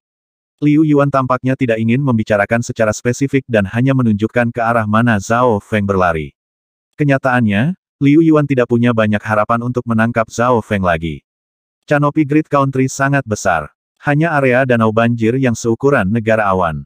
Tidak peduli seberapa bodohnya Zhao Feng, dia tidak akan berlari lurus dan tidak pernah mengubah arah. Kota danau yang membanjiri, Istana Tuan Kota. Berita tentang Zhao Feng pergi ke Tuan Kota. Mereka yang berada di setengah langkah True Spirit Realm dan tujuh Sky mengejar Zhao Feng lebih dari seratus, dan yang lainnya di tingkat kultivasi yang berbeda berjumlah lebih dari seribu. Titik. Total lima di True Spirit Realm juga mengejarnya, seorang penjaga kota kata pemimpin.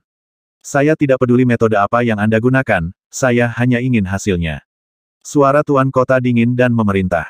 Kemarahan yang dia pendam hari ini melampaui dekade terakhir dan menghancurkan citra ilmiahnya. Menantu yang hampir dijamin telah menyebabkan kekacauan di kota danau banjir dan banyak ahli dikirim, tetapi mereka masih tidak dapat menangkap target. Tidak hanya itu, semua orang yang mengejar Zhao Feng telah dikalahkan. Liu Yuan adalah orang real spirit realm pertama yang mengejar Zhao Feng. Kesuksesan akan bergantung padanya. Seorang tetua dari True Mystic Rank di sebelah Tuan Kota berkata. Usia dan posisinya sangat tinggi. Orang-orang terdekat juga mengangguk. Jika Liu Yuan adalah pembudidaya peringkat manusia sejati tercepat yang gagal mengejar Zhao Feng, maka tidak peduli metode apa pun yang mereka miliki, akan sulit untuk menangkap Zhao Feng. Meskipun kinerja Liu Yuan setelah kembali dari Istana Pedang Qin tidak luar biasa, dia tidak mengecewakanku. Tuan kota dengan samar menganggukkan kepalanya. Orang dengan harapan terbesar saat ini adalah Liu Yuan. Sua, sosok hantu melintas di depan Tuan Kota Danau Banjir. Melapor ke Tuan Kota, Liu Yuan gagal menangkap Zhao Feng. Kata sosok itu. Gagal. Hati Tuan Kota dan teman-temannya bergetar dan aura alam roh sejati naik. Bagaimana mungkin Liu Yuan tidak mengejar Zhao Feng dengan kecepatannya? Ekspresi tetua di True Mystic Rank sedikit berubah. Menurut berita, Liu Yuan memang mengejar Zhao Feng, tapi, sosok itu menceritakan kisah itu. Mengetahui apa yang terjadi, orang-orang yang hadir tercengang. Bagaimana ini mungkin, kecuali ada campur tangan dari pembudidaya alam roh sejati lainnya. Semua orang menggelengkan kepala dengan tidak percaya, tetapi tepat pada saat ini, sebuah suara terdengar Liu Yuan ada di sini untuk meminta maaf atas kesalahannya. Sosok kusut terbang. Liu Yuan. Semua orang mulai mengajukan pertanyaan ketika mereka melihatnya. Wajah Liu Yuan dipenuhi dengan rasa bersalah dan kepahitan saat dia berbicara tentang apa yang telah terjadi. Mengetahui bahwa Zhao Feng sudah mulai membuat rencananya dari beberapa hari yang lalu untuk menghitung kuda terbang Liu Yuan, semua orang merasa kedinginan. Perencanaan dan perhitungan pemuda itu menakutkan. Mereka semua tidak bisa menahan napas dingin ketika mereka mendengar tentang pertempuran itu. Sepertinya kita masih meremehkan kekuatan garis keturunan mata anak itu. Bahkan True Human Rank yang normal tidak dapat sepenuhnya menolak keterampilan energi mentalnya. Tetua True Mystic Realm memiliki ekspresi serius. Zhao Feng. Bahwa Zhao Feng melarikan diri dari kelopak mata ahli yang tak terhitung jumlahnya di kota danau banjirku. Kemarahan Tuan Kota Danau yang banjir telah mencapai batasnya. Puncak True Mystic Rank memenuhi udara dan menyebabkan surga bumi Yuan Qi di dekatnya mendidih. Seluruh kota danau banjir tampaknya diselimuti awan redup. Semua orang merasa seolah-olah mereka tidak bisa bernapas. Bahkan keberadaan di alam roh sejati merasa hati mereka bergetar. Hanya tetua di True Mystic Realm yang berani berbicara Jiutian, jangan terlalu marah. Anda adalah orang dengan potensi paling besar dalam keluarga Danau Banjir Liu dan telah mencapai batas peringkat mistik sejati dalam waktu kurang dari 100 tahun. Anda juga telah mengolah mistik Flaming Heavenly Burning Manual ke tingkat puncak ke-8. Selama Anda berjalan setengah langkah lebih jauh, Anda dapat mendorong keluarga banjir Danau Liu ke era baru. Ya, Paman ke-6. The Floating Lake City Lord sedikit tenang. Namun, hanya pada saat ini. Melaporkan kepada Tuan Kota, Nyonya Muda telah menghilang. Dia tidak ditemukan lagi di istana Tuan Kota. Berita ini membuat hati semua orang bergetar dan mengutuk dalam hati mereka sekali lagi. Perhatian kota Danau Banjir hanya terfokus pada Zhao Feng sekarang. Tidak ada yang berharap Liu Qinxin menghilang sekarang. Rupanya, arah ke mana Nyonya Muda menuju mirip dengan Zhao Feng. Itu tidak perlu ditanyakan. Liu Qinxin mengejar calon suaminya. Zhao Feng, Zhao Feng, Anda menghancurkan nama keluarga Danau Banjir Liu. Kemarahan Tuan Kota Danau Banjir yang sedikit tenang meledak sekali lagi. Surga bumi Yuan Qi langsung mulai melompat. Awan bahkan telah berubah warna menjadi merah samar dan seluruh istana Tuan Kota tampaknya diselimuti lava. Para pembudidaya peringkat manusia sejati di dekatnya serta Liu Yuan dan teman-temannya bahkan tidak bisa berdiri dengan mantap. Boom! Udara tampaknya telah berubah menjadi merah tua. Garis keturunan Raja Kota Danau Banjir yang marah dan kekuatan alam roh sejati mencapai kondisi terbakar sesaat saat matanya berubah menjadi merah keperakan. Mata merah perak itu sepertinya mengandung api merah untuk ditembakkan ke langit. Kiroh sejati Tuan Kota mencapai tingkat lain dan para pembudidaya alam roh sejati lainnya yang hadir memiliki keinginan untuk sujud. Pada saat ini, penguasa kota danau banjir tampak berdiri di atas awan, mengamati bumi di bawah. Besar, peringkat tuan sejati. Keluarga Liu Danau Banjir kami akhirnya menghasilkan seorang pembudidaya True Lord Rank. Penatua dari True Mystic Rank tidak bisa menahan tangis saat dia merasakan aura tuan kota. Selamat kepada tuan kota yang berhasil menembus peringkat tuan sejati. Pangkat tuan sejati memimpin satu sisi dan sekarang keluarga Danau Banjir Liu akan menjadi keluarga yang kuat yang bahkan keluarga kekaisaran, tiga sekte dan empat keluarga harus diwaspadai. Para ahli di dalam istana Tuan Kota sangat bersemangat. Saat seseorang naik ke peringkat Tuan Sejati, para pembudidaya alam roh sejati dalam radius beberapa ribu mil merasakan sesuatu. Orang lain telah menembus ke peringkat Tuan Sejati di negara besar Kanopi. Setiap True Lord Rank dapat mengubah situasi negara. 3000 mil jauhnya, sedan bersimbol naga, pedang, dan bilah yang berdarah melayang di udara, dibawa oleh empat True Human Rank. Pangkat tuan sejati lainnya, keberuntungan keluarga Liu terlalu bagus. Rambut darah berwarna timo menghela nafas sedikit dan menutup matanya. Taruhan. Di hutan liar, Sua, sosok samar Zhao Feng muncul. Aura ini, wajah Zhao Feng membeku saat mata spiritual Tuhannya merasakan aura. Tuan kota danau yang membanjiri. Zhao Feng menarik napas dalam-dalam. Saat ini, dia setidaknya seribu mil jauhnya dari kota danau banjir, tapi dia masih bisa menangkap sedikit aura Tuan kota. Aura ini digabungkan dengan Heaven Earth Fire Yuan Qi. Mata Zhao Feng berbinar saat dia memikirkan kemungkinan yang menakutkan. Jelas, Tuan Kota telah menembus ke pangkat Tuan Sejati atau dia sudah berada di pangkat Tuan Sejati dan telah menyembunyikan tingkat kultivasinya sebelumnya. Hasil ini jelas mengerikan bagi Zhao Feng. Dia tahu dengan jelas seberapa besar kekuatan yang dimiliki oleh Tuan Sejati. Dari delapan kekuatan terkuat di negara besar, setiap orang dari mereka memiliki setidaknya satu pembudidaya tuan sejati karena tidak peduli berapa banyak pembudidaya di alam naik dan alam roh sejati yang normal, itu tidak cukup untuk mendominasi.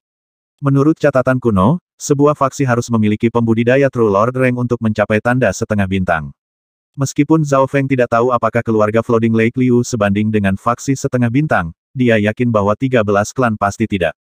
Secara keseluruhan, kekuatan dan ketenaran Tuan Kota Danau Banjir akan meningkat dan ini menciptakan perlawanan besar terhadap pelarian Zhao Feng.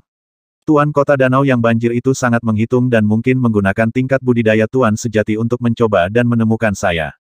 Meskipun negara besar kanopi sangat besar dan kekuatannya kompleks, kekuatannya masih dapat memengaruhi apa pun di dekat area danau banjir.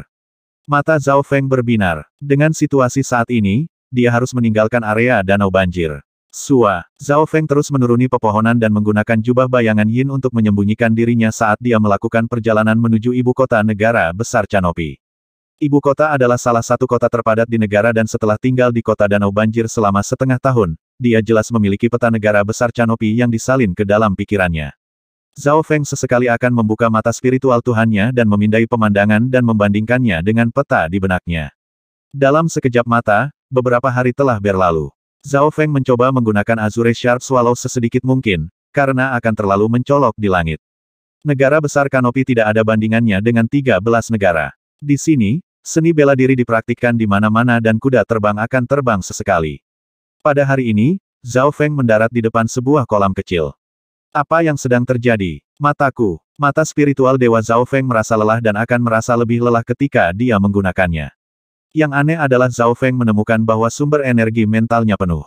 Bahkan ketika Zhao Feng telah melawan Liu Yuan beberapa hari yang lalu, tidak sejelas ini. Kolam itu sangat tenang dan seperti cermin. Zhao Feng berdiri di depan kolam dan memandangi rambutnya. Segera, Zhao Feng menemukan bahwa sekitar sepersepuluh dari rambut birunya telah berubah menjadi biru es yang redup. Warna rambutnya telah berubah beberapa hari terakhir. Selanjutnya, mata biru kadang-kadang akan berkedip dengan aura dingin dan sedingin es.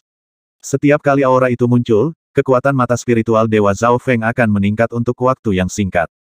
Karena inilah Zhao Feng mampu menarik kesadaran energi mental Liu Yuan ke dalam ilusi atau yang bisa dia lakukan hanyalah lari. Namun, saat ini, bahkan ketika Zhao Feng menggunakan mata spiritual Tuhannya secara normal, dia akan merasa lelah. Miao Mia, kucing pencuri kecil itu tiba-tiba muncul di bahunya dan mengeluarkan dua koin yang dia lambaikan ke arah Zhao Feng. Salah satu koin ini berasal dari istana Floating Crest, sedangkan yang lainnya berasal dari Liu Qinxin.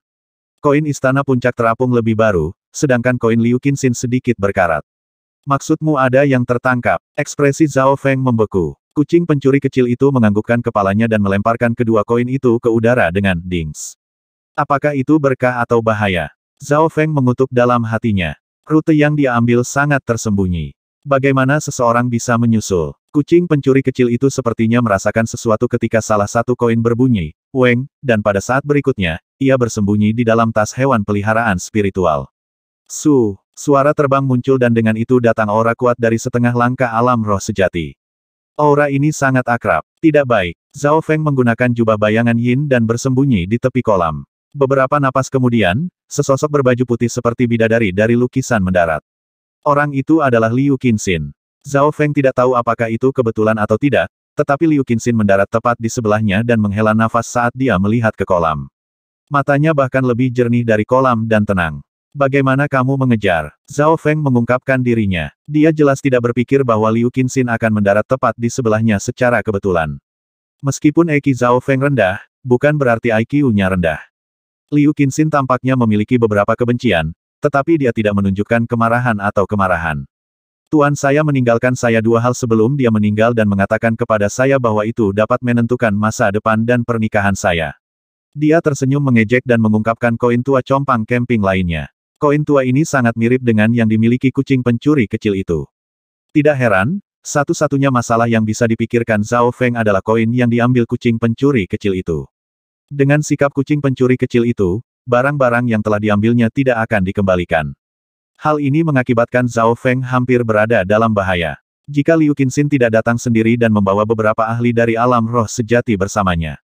Ketika Zhao Feng berpikir sampai di sini, dia berkeringat dingin dan melihat ke belakang dengan mata spiritual Tuhannya tetapi tidak menemukan tanda-tanda orang lain. Jangan khawatir, kami akan menyelesaikan masalah di antara kami. Mata jernih Liu Qinxin mengamati pemuda di depannya. Mereka hampir menjadi suami istri sebelumnya menyelesaikan. Bagaimana? Zhao Feng merasa sedikit tidak nyaman dan bersalah karena dipandang. Aku akan menceritakan sebuah cerita sebelum kita menyelesaikan masalah kita. Liu Qinxin tersenyum. Pada saat ini, kecantikannya membuat Zhao Feng sedikit linglung. Aku akan mencuci muka dan mendengarkan.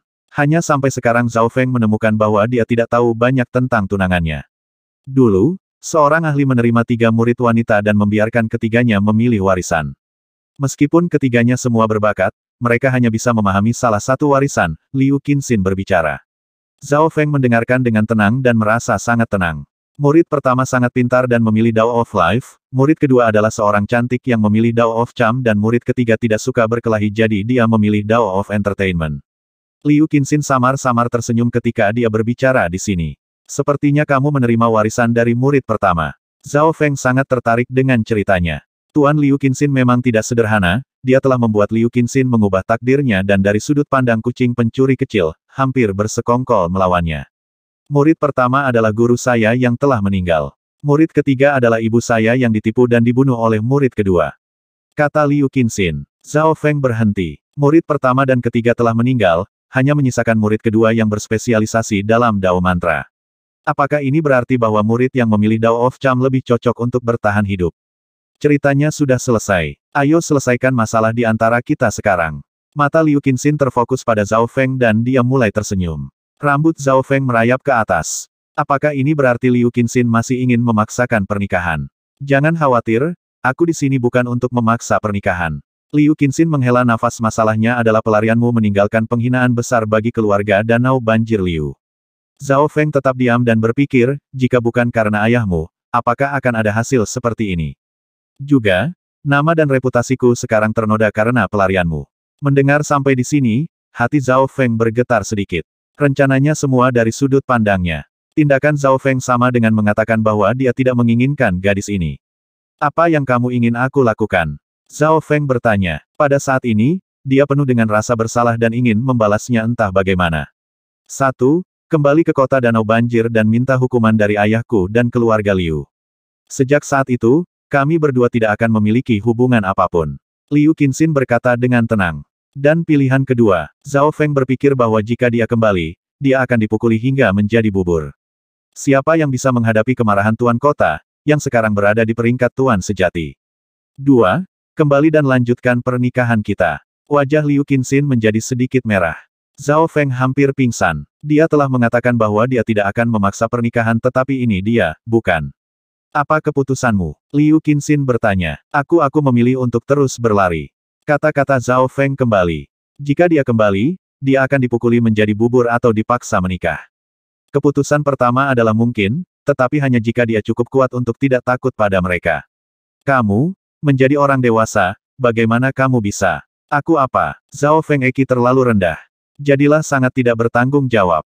Liu Qinxin menggigit bibirnya. Dewasa, aku masih di bawah umur. IQ tinggi Zhao Feng ditampilkan. Anda, Liu Qinxin berhenti berbicara. Bagaimana kalau kita bertaruh? Mata Liu Qinxin berbalik. Melanjutkan. Zhao Feng tidak takut sama sekali. Kita akan bertanding sekarang. Jika Anda menang, Anda dapat membuang semua tanggung jawab. Tetapi jika Anda kalah, Anda harus memilih salah satu dari keduanya. Liu Qinxin berkata dengan agak kesal. Hahaha jika aku kalah, aku akan langsung kembali dan menikahimu. Zhao Feng mulai tertawa dengan percaya diri. Meskipun kekuatan Liu Qinxin melampaui setengah langkah normal True Spirit Realm sejauh ini dan memiliki kekuatan garis keturunan, Zhao Feng telah berhasil melarikan diri dari seorang ahli True Spirit Realm. Betulkah? Liu Qinxin tersenyum dan menekankan tangannya pada dantiannya saat segel rusak. Seketika, kinya dari alam roh sejati setengah langkah berubah menjadi ki roh sejati yang nyata. Ki dari roh sejati, Anda, Anda telah menyegel kultivasi Anda. Zhao Feng tercengang. Aura dari alam roh sejati membuatnya hampir tidak bisa bernapas. Tidur, satu. Ketika Liu Qinxin mengungkapkan kartu tersembunyinya, kepercayaan diri Zhao Feng langsung menghilang. Seolah-olah dia telah jatuh dari awan ke neraka. Alam roh sejati. Kultivasinya yang sebenarnya adalah di alam roh sejati dan kekuatannya mungkin bahkan lebih kuat dari Liu Yuan dengan kekuatan garis keturunannya. Pikiran Zhao Feng berputar. Ketika dia pertama kali bertemu Liu Qinxin dan memindainya dengan mata spiritual Tuhannya, itu dihentikan oleh kekuatan misterius yang menghentikannya untuk melihat melalui mata spiritual Tuhan dan Liu Qinxin telah merasakannya. Pada saat itu, sense spiritual Liu Qinxin sudah tidak lebih lemah dari alam roh sejati yang normal. Zhao Feng awalnya berpikir bahwa garis keturunan Liu Qinxin sangat istimewa dan kultivasinya dekat dengan alam roh sejati. Menggali lebih dalam dengan mata spiritual Tuhannya pasti akan dirasakan oleh Liu Qinxin. Saat kultivasinya yang sebenarnya terungkap, semuanya bisa dipahami. Feng, menurut taruhan, kamu tidak memiliki peluang untuk menang. Zhao Feng telah menggunakan segala cara yang tersedia untuk melarikan diri dari pengejaran Liu Yuan. Sudah luar biasa bagi seorang kultivator di langit ketujuh untuk melakukan ini, tetapi jika Zhao Feng akan melawan Liu Yuan, peluang untuk menang rendah. Pada saat ini, Zhao Feng harus melawan Liu Qinxin secara langsung dan tidak melarikan diri. Liu Qinxin adalah murid dari para wanita yang berspesialisasi dalam dao kehidupan, dan dia memiliki kekuatan garis keturunan, membuatnya lebih sulit untuk dihadapi daripada Liu Yuan. Mata spiritual Dewa Zhao Feng menganalisis peluang menang dan hasilnya kurang dari 30%. Tentu saja, kamu bisa kembali bertaruh, aku tidak akan memaksamu. Liu Qinxin dengan tenang menghadapi Zhao Feng. Jika yang terakhir kembali pada kata-katanya dan melarikan diri, itu akan mengecewakannya. Tidak peduli betapa hebatnya orang-orang seperti ini, mereka tidak berhak menjadi suaminya. Zhao Feng berdiri diam dan ekspresinya menjadi tenang sekali lagi. Aku tidak mengakui kekalahan. Zhao Feng berbalik dan menatap lurus ke arah Liu Qinxin. Pada saat ini, Zhao Feng bahkan bisa mencium aroma Liu Qinxin. Keempat mata itu saling mengunci. Mata spiritual Dewa Zhao Feng dibuka. Alasan mengapa dia memiliki hampir 30% peluang untuk menang adalah karena mata spiritual dewa. Di kedalaman jurang di dalam kiri birunya, sesekali kedipan biru es akan muncul. Tingkat energi mental Zhao Feng sedikit lebih rendah dari pembudidaya alam roh sejati yang normal, tetapi ketika aura biru itu akan muncul, itu sebanding dengan pembudidaya tingkat manusia sejati yang normal. Liu Qinxin tidak bergerak dan dia menatap mata spiritual Dewa Zhao Feng. Meskipun mereka sangat dekat satu sama lain, kecepatan serangan energi mental masih lebih cepat daripada serangan fisik. Sua, aura biru es muncul di mata spiritual Dewa Zhao Feng dan seketika, kekuatan matanya naik. Gumpalan kekuatan energi mental meluas saat mata spiritual Dewa Zhao Feng menjadi memikat. Hati Liu Qinxin bergetar saat kesadarannya mencoba menghalanginya. Pada titik kritis, dia menguatkan keinginannya dan membuka kekuatan garis keturunannya. Cahaya perak muncul di sosoknya yang memikat. Dia tampak seperti dewi di bawah bulan. Budidaya alam roh sejati dan kekuatan garis keturunan misterius meningkatkan tekanan pada Zhao Feng. Hanya ketika keringat dingin muncul di dahinya, Zhao Feng menyerah. Tidak ada gunanya, celah dalam kultivasi tidak bisa ditembus. Liu Qinxin menghela nafas. Zhao Feng menggelengkan kepalanya dengan getir saat ekspresi dinginnya yang biasa tiba-tiba menjadi hangat. Qinxin, apakah kamu tahu bahwa pertama kali aku melihatmu, hatiku tergerak. Mata spiritual Dewa Zhao Feng menjadi penuh kedalaman dan kehangatan yang tidak biasa. Dia penuh emosi ketika dia melihat gadis di depannya. Lalu kenapa kau? Liu Qinxin berhenti, dia tidak berpikir bahwa Zhao Feng akan tiba-tiba mengaku padanya. Mata spiritual Dewa Zhao Feng menggunakan cara aneh untuk melewati celah gerakan. Liu Qinxin tidak menyadari bahwa matanya mulai memerah dan berair. Qinxin, aku tahu aku salah, aku telah memutuskan untuk menikahimu. Mata emosional Zhao Feng yang sepertinya bisa mencairkan es perlahan mengikis indranya. Sedikit demi sedikit, Zhao Feng perlahan mendekati Liu Qinxin dan dengan lembut menyentuh bahunya. Feng, apakah kamu tahu? Ketika saya mengetahui bahwa Anda telah melarikan diri, saya merasa sangat kedinginan. Saat itu aku hanya ingin mencarimu dan bertanya kenapa. Mata berair Liu Qinxin dipenuhi dengan kegembiraan. Dia telah jatuh ke dalam keterampilan energi mental Zhao Feng dan jatuh ke dada Zhao Feng. Begitu mudah. Zhao Feng sedikit bingung, situasinya jauh lebih lancar dari yang dia bayangkan. Sebelumnya, dia telah menggunakan semua kekuatannya dan tidak bisa menarik kesadarannya. Tetapi saat ini, dia telah menggunakan ilusi energi mental sederhana untuk berhasil. Saat ini, Liu Qinxin telah jatuh ke tangan Zhao Feng dan emosinya dapat dikendalikan oleh Zhao Feng. Jadi cacat di hatinya adalah aku.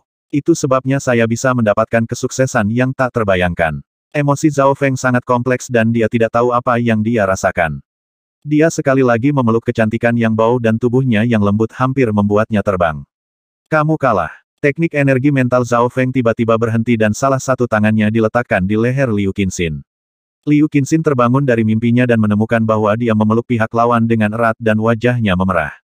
Meskipun tangan Zhao Feng diletakkan di lehernya, tidak ada tekanan, seolah-olah dia tahu bagaimana memperlakukannya. Anda, Liu Qinxin merasa terhina. Meskipun dia memiliki kartu tersembunyi, pemuda ini telah memasuki hatinya selangkah demi selangkah dan kemudian melarikan diri dari pernikahan, meninggalkan cacat di hatinya. Zhao Feng perlahan meletakkan tangannya saat kulit Liu Qinxin memerah. Aku tersesat. Liu Qinxin menenangkan dirinya saat senyum pahit muncul di bibirnya. Dia menatap Zhao Feng sekali lagi sebelum berbalik dan pergi. Tidak peduli apa yang digunakan lawannya, dia telah kalah dan dia tidak akan menemukan alasan apa pun. Melihatnya terbang menjauh, Zhao Feng merasa seolah-olah dia telah kehilangan sesuatu. Meskipun ini bukan cara yang dia inginkan untuk menang, itu adalah satu-satunya cara yang mungkin. Zhao Feng menarik napas dalam-dalam dan berkata dengan nada serius ketika aku tidak punya apa-apa lagi untuk dikhawatirkan suatu hari nanti, aku akan kembali dan menikahimu. Liu Qinxin, yang berada di udara, membeku. Tapi dia tidak berbalik saya tidak ingin belas kasihan Anda. Itu atas dasar bahwa kamu belum menikah. Zhao Feng berkata sebelum pergi dengan menelan ludahnya yang tajam. Taruhan ini telah kehilangan semua arti. Meskipun Zhao Feng telah melarikan diri, dia telah meninggalkan janji ini. Untuk seseorang yang terbelakang seperti dia dalam hal Eki, ini adalah keajaiban. Tuan, apakah dia benar-benar bintang dalam hidupku atau dia musuhku? Mata Liu Qinxin agak kesal. Setelah berinteraksi dengan Zhao Feng dalam waktu yang lama, dia juga tahu bahwa Zhao Feng mengerikan dalam hal Eki. Oleh karena itu, janji ini menggerakkan Liu Qinxin. Dia bahkan telah memberikan janji ini dengan fakta bahwa dia telah menang. Jika Zhao Feng tanpa emosi atau lebih tak tahu malu, Liu Qinxin hanya bisa pergi, tetapi takdir berubah lagi sekali lagi. Orang yang dia temukan adalah permaisuri Qin. Mudah-mudahan, kita tidak akan menjadi musuh saat kita bertemu lagi. Mata Liu Qinxin menjadi tenang sekali lagi. Ketika Zhao Feng telah mengeluarkan setengah dari sisir rambut giok, dasi pertama Liu Qinxin yang yakin dari cabang keluarga Liu Mana. Duduk di Azure Sharp Swallow, kecepatan Zhao Feng menjadi semakin cepat saat dia melesat ke langit. Saya harus meninggalkan area danau banjir sesegera mungkin. Zhao Feng merasa tertekan. Meskipun Liu Qinxin tidak akan mengejarnya, itu tidak berarti tuan kota tidak akan mengejarnya. Tindakan Zhao Feng menodai reputasi keluarga danau banjir Liu dan mempermalukan tuan kota. Tetapi menggunakan kesempatan ini, tuan kota telah mencapai peringkat tuan sejati. Miao Mia, kucing pencuri kecil muncul di bahunya dan mendentingkan kedua koin itu bersama-sama. Zhao Feng sedang memikirkan cerita Liu Qinxin. Pakar telah mengambil tiga murid perempuan. Murid pertama memilih Dao of Life, yang kedua Dao of Cham dan Liu Qinxin adalah pewaris murid pertama. Kucing pencuri kecil itu mengayunkan cakarnya seolah mencoba mengatakan sesuatu. Zhao Feng bisa mengerti apa artinya, murid pertama Dao of Life telah mengubah takdir Liu Qinxin dan tampaknya sangat berhasil. Kemunculan Zhao Feng menyebabkan Tuan Kota Danau Banjir menerobos ke tingkat Tuan Sejati dan dia telah berjanji untuk mengambil Liu Qinxin sebagai istrinya jika yang terakhir bersedia. Miao Mia, kucing pencuri kecil itu melemparkan koin takdir dan menganggukkan kepalanya dengan sedikit kekaguman. Jika saya tidak salah, orang yang memilih Dao of Cham adalah permaisuri Qin. Kecurigaan di hati Zhao Feng terpecahkan dan sekarang satu-satunya teka-teki adalah hubungan antara permaisuri Qin dan penatua pertama. Beberapa hari kemudian, Zhao Feng membuka mata spiritual Tuhannya dan memastikan rutenya untuk meninggalkan area danau banjir. Karena menggunakan mata spiritual dewa, Mata kiri Zhao Feng menjadi lebih lelah dan rambut biru es yang lebih redup muncul. Tingkat aura biru es yang muncul di mata kirinya menjadi lebih tinggi dan semua ini membuat kelelahan Zhao Feng meningkat. Aku tidak bisa menahannya lagi. Zhao Feng mengertakkan gigi. Setiap saat sekarang dia ingin tidur, tetapi dia tahu bahwa dia tidak bisa melakukannya jika dia masih berada di sekitar area danau banjir. Insting memberitahunya bahwa waktunya tidak akan singkat. Setelah berhasil bertahan selama dua hari lagi, sebuah sungai muncul di depannya dan pada saat ini Zhao Feng telah memasuki wilayah baru. Gelombang tidur menyelimuti kesadaran Zhao Feng. Dia tidak menyadari bahwa lebih dari setengah rambutnya telah membiru. Bahkan matanya memiliki bintik-bintik biru kristal di dalamnya. Ini adalah batasnya. Zhao Feng menutup matanya. Celepuk. Tubuhnya jatuh ke sungai dan segera tertutup oleh ombak. Tidur, 2. Kesadaran Zhao Feng menjadi kabur saat dia tertidur lelap. Setelah jatuh ke sungai, tubuhnya otomatis berubah menjadi keadaan setengah mati. Zhao Feng seperti sepotong kayu yang mengikuti arus tidak peduli bagaimana angin bertiup atau ombak berguncang. Miao Mia, kucing kecil pencuri itu melompat keluar dari tas hewan peliharaan spiritual, duduk di atas tubuh pemiliknya dan melihat sekeliling dengan mata hitamnya. Kucing kecil pencuri itu menyangkal logika dengan bisa masuk dan keluar dari tas hewan peliharaan spiritual sesuka hati. Itu melihat ke bawah dan mengamati Zhao Feng sebelum menjangkau dan menepuk dahi pemiliknya. Zhao Feng tidak bereaksi apa pun, tetapi kekuatan sejati dan kekuatan garis keturunannya tampaknya melindungi dirinya sendiri berdasarkan insting. Pada saat tertentu, seekor binatang Yao menatap Zhao Feng dan mencoba mendekatinya tetapi kilatan petir dan aura biru es muncul dari garis keturunan Zhao Feng. Kekuatan garis keturunan membekukan binatang yang mendekat dan membuatnya gemetar. Kucing pencuri kecil itu sepertinya memikirkan sesuatu dan mengeluarkan dua koin takdir sebelum melemparkannya ke udara. Kucing pencuri kecil itu tampak agak tidak berdaya setelah mereka mendarat dan menguap sebelum menghilang kembali ke dalam tas hewan peliharaan spiritual. Hari-hari berlalu dan Zhao Feng memasuki keadaan seperti koma, tetapi aura hidupnya masih tetap ada. Kucing kecil pencuri itu kadang-kadang keluar dan memeriksa pemiliknya atau menangkap ikan dari sungai. Dalam sekejap mata, sebulan berlalu. Tubuh Zhao Feng mengikuti arus dan bantuan kucing pencuri kecil itu, menjauh dari area danau banjir. Miao Mia, kucing pencuri kecil itu melihat ke arah kota danau banjir dan menganggukkan kepalanya. Hampir dapat dipastikan bahwa Zhao Feng sekarang aman. Keluarga Danau Banjir Liu sudah menjadi salah satu dari tiga kekuatan terkuat di sekitar area Danau Banjir dan dengan Tuan Kota Danau Banjir, Liu Jiutian, mencapai peringkat Tuan sejati. Itu jelas mendominasi. Setelah Zhao Feng melarikan diri dari penguasa kota, Liu Jiutian memerintahkan semua orang di sekitar area danau banjir untuk mencari Zhao Feng. Tapi ukuran Canopy Great Country terlalu besar dan bahkan City Lord hanya bisa mempengaruhi area di sekitar area danau banjir. Terlepas dari area danau banjir, ada juga kekuatan yang memiliki hubungan dengan kekaisaran, tiga sekte, dan empat keluarga. Bahkan keluarga Liu memiliki persaingan yang kuat dan pertempuran batin. Secara keseluruhan, tidak ada satu orang pun yang benar-benar bisa memerintah semua orang. Bahkan kekaisaran. Inilah mengapa semakin jauh Zhao Feng pergi, semakin aman dia. Kucing pencuri kecil dan Zhao Feng memiliki perjanjian darah dan meskipun kucing itu tampak malas hampir setiap hari, kucing itu tidak akan menyingkir pada saat-saat kritis. Setelah sebulan tidur nyenyak, rambut Zhao Feng berubah menjadi biru pucat dan mata kirinya berubah menjadi warna biru es seperti mimpi. Melihat dari jauh, Zhao Feng tampak seperti pangeran mimpi. Namun, pada saat Zhao Feng tertidur, dia kadang-kadang menggumamkan sesuatu dan mata kirinya akan terbuka untuk waktu yang singkat. Mata kirinya seperti kristal air, penuh kesempurnaan. Yang kuno rusak, dan dewa kuno yang terbunuh akan berubah menjadi satu triliun debu. Suara desahan dingin terdengar dalam gelap gulita. Seolah-olah suara ini telah melewati dimensi lain dalam waktu. Di kedalaman mata kirinya, jurang biru telah berubah menjadi kolam biru kecil dan bagian tengah kolam itu membeku. Wajah Zhao Feng tampak lebih dingin dan ketika mata kirinya terbuka, Rasa dingin yang tak terlihat akan menyebar ke radius 100 yard dan membuat hewan-hewan di dekatnya cegukan. Dinginnya begitu kuat sehingga bahkan mereka yang berada di alam roh sejati pun akan tergerak. Mata kucing pencuri kecil itu penuh dengan harapan dan rasa hormat. Terkadang, itu hanya akan duduk di Zhao Feng dan berkultivasi. Itu benar, kucing pencuri kecil itu berkultivasi dan jumlah batu kristal utama dan pil spiritual yang dikonsumsinya bisa menciptakan gunung. Waktu berlalu. Terlepas dari kenyataan bahwa Zhao Feng kadang-kadang membuka matanya, dia tetap tertidur lelap dan bukannya kultivasinya menurun, itu benar-benar meningkat dengan mantap ke depan. Pada hari ini, tubuh Zhao Feng akhirnya memasuki sebuah teluk. Teluk ini penuh dengan surga bumi Yuan Qi dan jalannya rumit.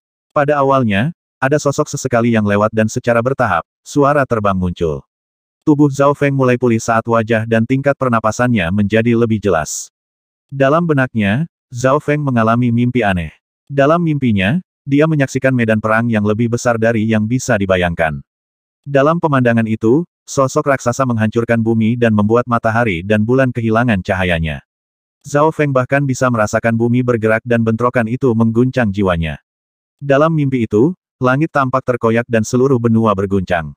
Hanya sedikit desis pertempuran bisa meratakan kota danau yang banjir. Ini, ini adalah mitos. Hati Zhao Feng bergetar. Meskipun gambar-gambar itu buram, hanya satu gumpalan aura mereka membuat jiwanya bergetar dan membekukan pikirannya.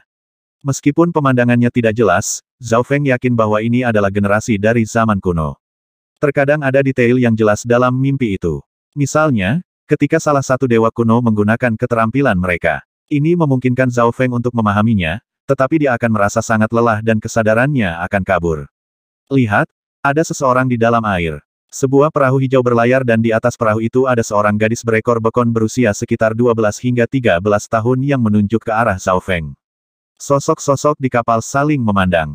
Orang yang mengambang sepertinya tidak mati. Eh, ada juga kucing. Orang-orang di kapal menganggap ini aneh.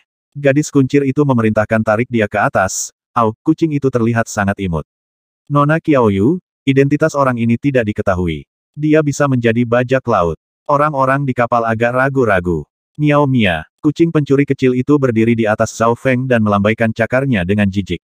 Semua orang berhenti dan tahu bahwa itu berdebat untuk pemiliknya. Sungguh kucing yang pintar, pemiliknya pasti orang yang baik. Gadis kuncir itu berkata dengan gembira saat dia menyuruh beberapa pelaut untuk menarik Zhao Feng ke atas. Rambut Zhao Feng berwarna biru pucat dan ini membuat gadis itu berseru rambut yang sangat cantik. Orang-orang penasaran dan beberapa gadis yang tertarik dengan lembut menyentuh rambutnya untuk memastikan bahwa rambutnya alami dan tidak dicat. Setelah dipindahkan ke perahu, pemuda itu masih tertidur lelap. Kucing pencuri kecil itu melompat-lompat di atas kapal, menyebabkan gadis ekor bekon itu sangat gembira. Kucing kecil, halo, Nama saya Bi Qiaoyu dari keluarga Bi Transverse Water Bay. Gadis ekor bekon itu memperkenalkan dirinya. Miao Mia, kucing pencuri kecil itu menepuk dadanya seolah memperkenalkan dirinya juga dan itu membuat orang-orang tertawa. Pada saat ini, seluruh perahu menjadi hidup karena kucing pencuri kecil itu. Qiaoyu, bagaimana situasinya dengan kucing dan pemuda ini? Sebuah suara tua terdengar dari sebuah ruangan di dalam perahu. Salam, Tuan Bi. Orang-orang di kapal membungkuk hormat. Di Teluk Air Transverse, keluarga Bi adalah salah satu kekuatan utama. Rupanya, keluarga Bi Teluk Air Transversal memiliki hubungan dengan salah satu dari empat keluarga, keluarga Bi utama dan dapat dianggap sebagai keluarga sampingan. Namun, karena kompleksitas lanskap Teluk Perairan Transversal dan jaraknya yang jauh, hubungan antara keluarga Bi ini dan keluarga utama Bi telah lama terputus. Tidak peduli apa yang dikatakan, itu masih merupakan kekuatan yang harus diperhitungkan di area ini. Rambut Master B memutih dan dia memegang tongkat yang diukir dengan kepala naga. Matanya berbinar ketika dia memeriksa kucing pencuri kecil itu dan kemudian berbalik ke arah pemuda itu dalam tidur nyenyak. Setelah memahami situasinya, Master B memerintahkan beritahu petugas medis untuk membangunkan pemuda ini dan bertanya dari mana dia berasal. Ada seorang petugas medis di kapal yang menahan denyut nadi Zhao Feng dengan alis berkerut. Petugas medis menggunakan beberapa metode, tetapi Zhao Feng masih tetap seperti kayu tanpa reaksi. Setelah itu, Master B secara pribadi mengambil denyut nadi Zhao Feng tetapi tidak peduli apa yang terjadi. Pemuda berambut biru itu masih tertidur lelap dan tidak merasakan apa pun dari dunia luar. Orang-orang di kapal bahkan curiga bahwa pemuda itu cacat.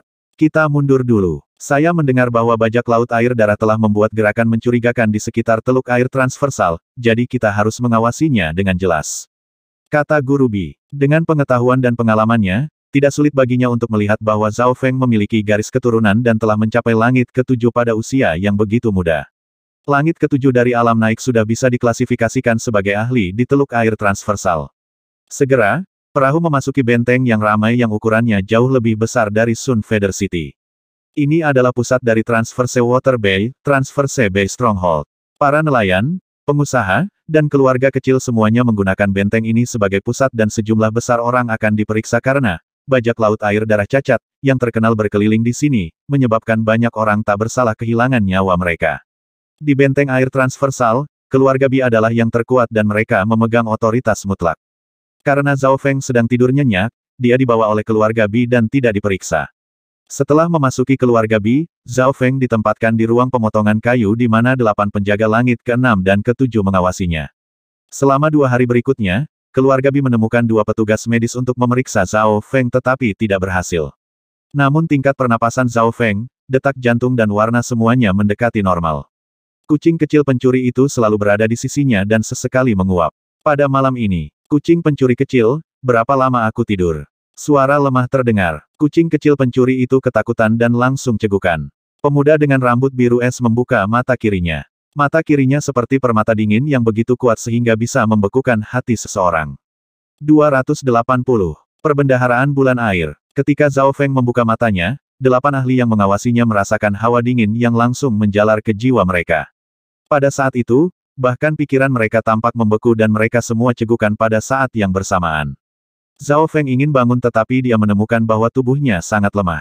Bagaimanapun, Zhao Feng belum makan selama lebih dari sebulan dan dia telah memasuki kondisi kebiasaan.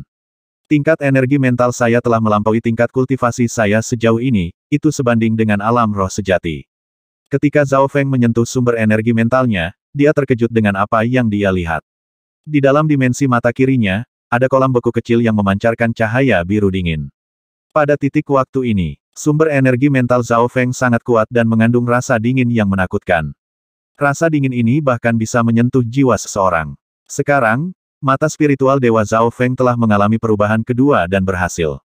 Miao Mia, kucing pencuri kecil itu melambaikan cakarnya dan Zhao Feng segera mengerti bahwa dia telah tidur selama sebulan dua belas hari.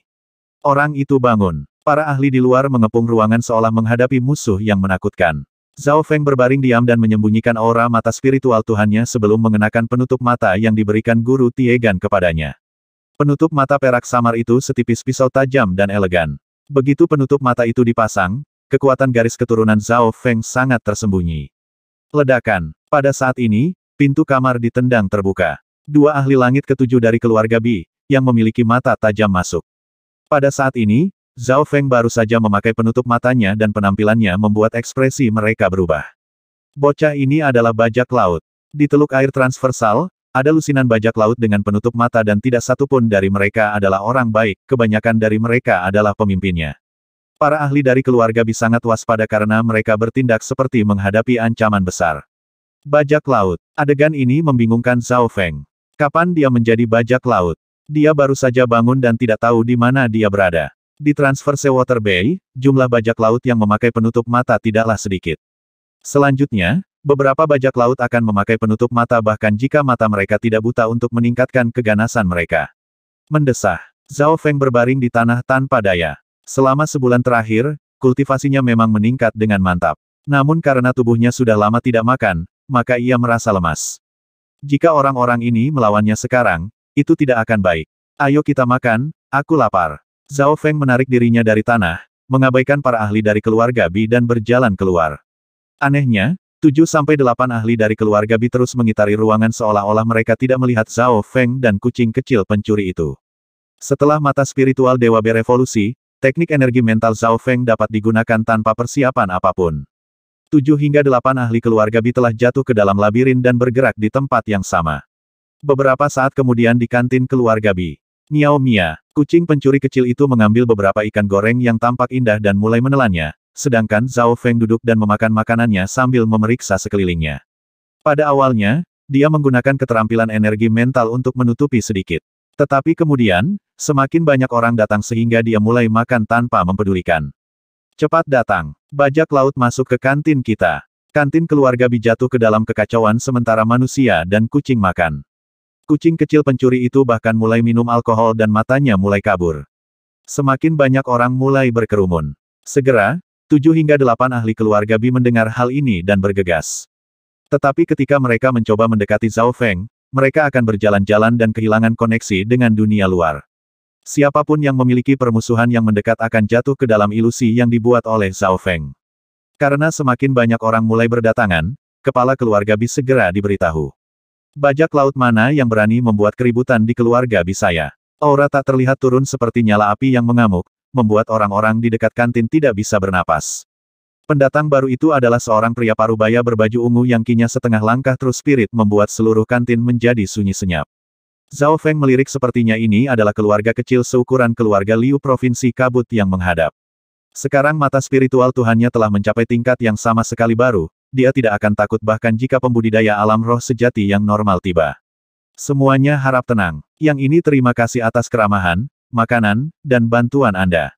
Zhao Feng telah selesai makan dan berterima kasih kepada mereka. Tidak peduli apa yang dikatakan, keluarga Bi telah menariknya dari air dan dia makan di sini. Jika dia pergi begitu saja tanpa melakukan apa-apa, rasanya tidak enak.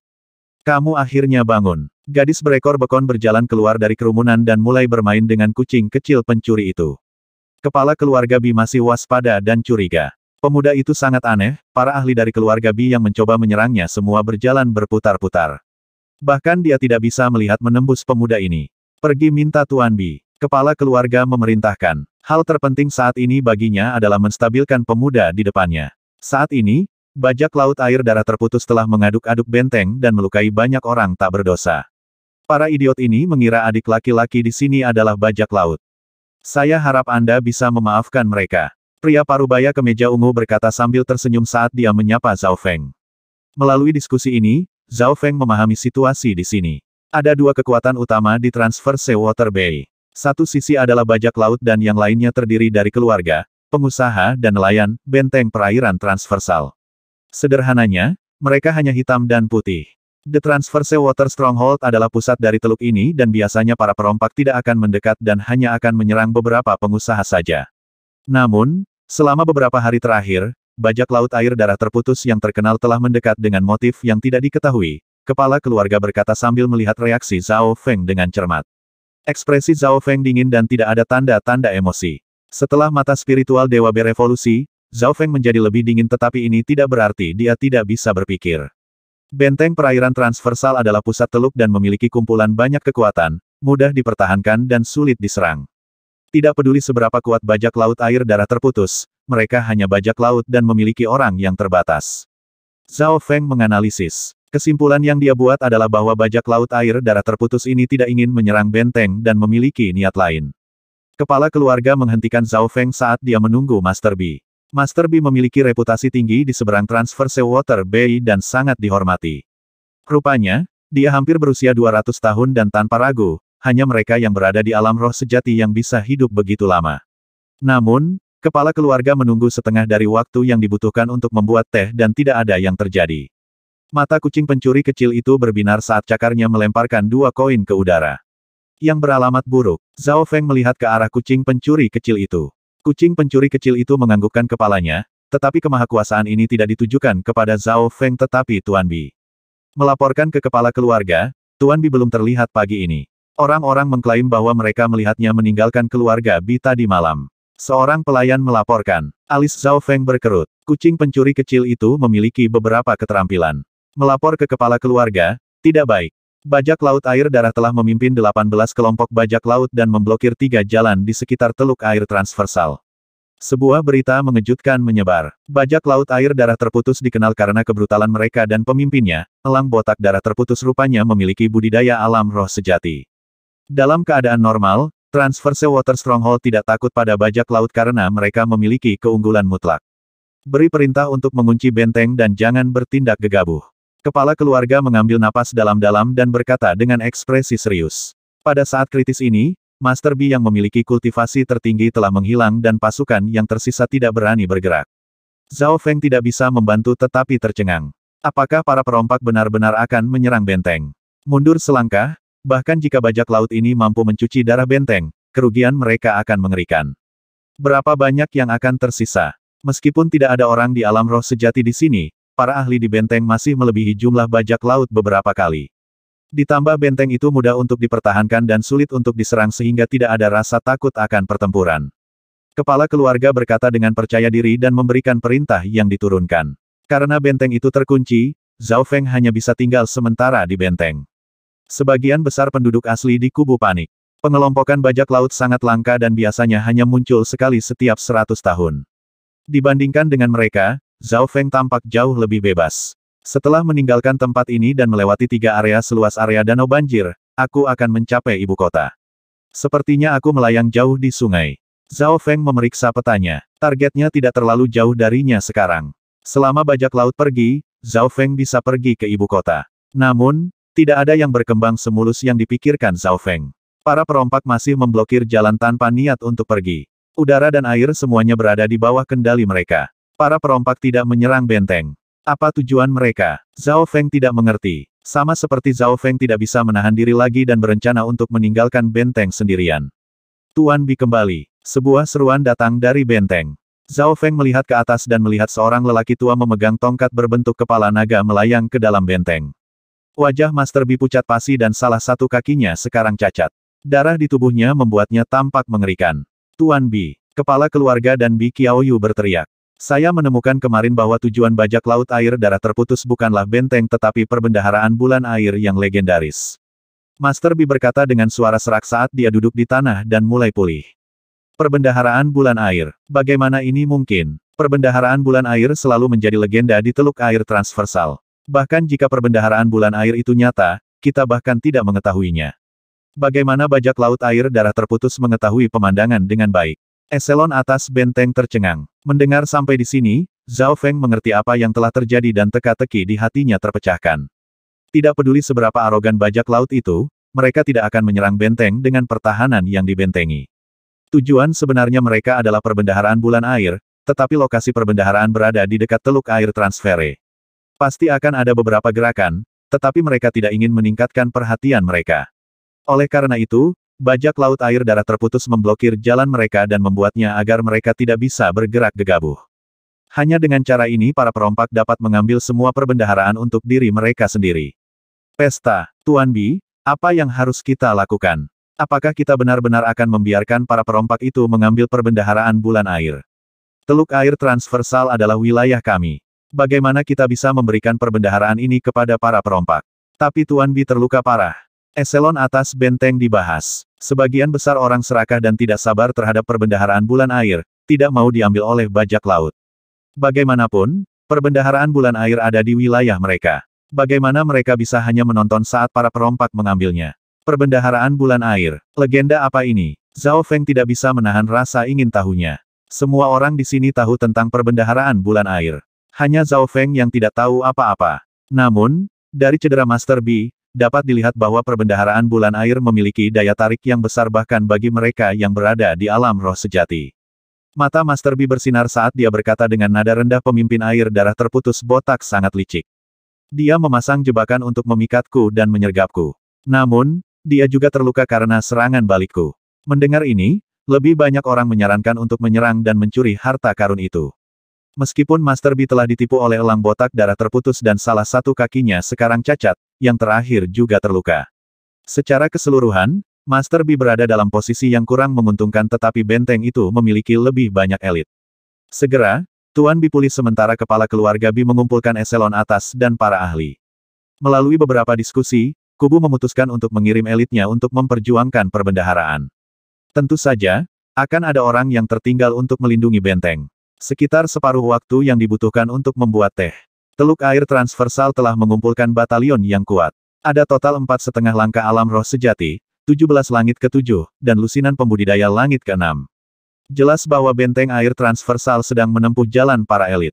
Di satu sisi, benteng membutuhkan orang untuk melindunginya dan di sisi lain, itu untuk keuntungan pribadi. Semakin banyak orang pergi berarti pembagian harta akan semakin sedikit. Tuan Bi, apa yang harus kita lakukan dengan pemuda tak dikenal ini? Beberapa eselon atas memandang pemuda berambut biru dengan permusuhan. Pemuda berambut biru itu mengenakan penutup mata dengan ekspresi dingin, dia juga tidak terlihat seperti orang baik. Tuan Bi, dalam situasi ini, saya lebih baik membunuh orang yang tidak bersalah daripada membiarkan ikan yang ditangkap pergi. Cahaya dingin melintas di salah satu ahli di mata langit ketujuh. Saran ini segera disetujui oleh banyak orang. Beberapa bahkan yakin bahwa Zhao Feng adalah bajak laut. Zhao Feng agak terkejut saat dia mengelus dagunya. Miao Mia, kucing pencuri kecil itu duduk di bahu Zhao Feng dan melambaikan cakarnya dengan jijik. Menghadapi kelompok ahli, satu kucing dan satu manusia sangat tenang. Huff. Dia ditarik dari air olehku dan dengan kucing yang lucu, bagaimana mereka bisa menjadi bajak laut. Hanya Bi Qiaoyu yang menonjol dan melindungi Zhao Feng. Ketika Zhao Feng ditarik keluar, Master Bi secara pribadi memeriksa Zhao Feng dan menemukan bahwa pemuda ini memiliki kekuatan garis keturunan. Di Canopy Great Country, garis keturunan mewakili kaum bangsawan. Orang-orang ini disambut di mana-mana. Apakah ada kebutuhan untuk menjadi bajak laut di usia yang begitu muda? Lebih jauh lagi, di bawah semua permusuhan orang-orang ini, mereka sangat tenang dan ini mengejutkan Master B. Dia tidak bisa melihat melalui Zhao Feng, tapi semuanya mungkin. Pemuda misterius ini akan dibiarkan tak terkendali di benteng. Teman kecil, apakah kamu tertarik untuk ikut dengan kami pergi ke perbendaharaan? Tuan Bi bertanya dengan senyum hangat. Zhao Feng tidak bisa tidak memikirkan kecerdasan Master B. Karena dia tidak santai dengan Zhao Feng, mengapa tidak membawa yang terakhir bersama mereka? Jika Zhao Feng benar-benar memiliki motif lain, mereka dapat dengan mudah membunuhnya dengan batalion mereka. Namun, jika Zhao Feng tidak bersalah, kultivasi dan kekuatan garis keturunannya akan sangat membantu mereka. Tentu, Zhao Feng mengangguk. Dia tidak tahu apa itu perbendaharaan bulan air, jadi dia bertanya tentang itu.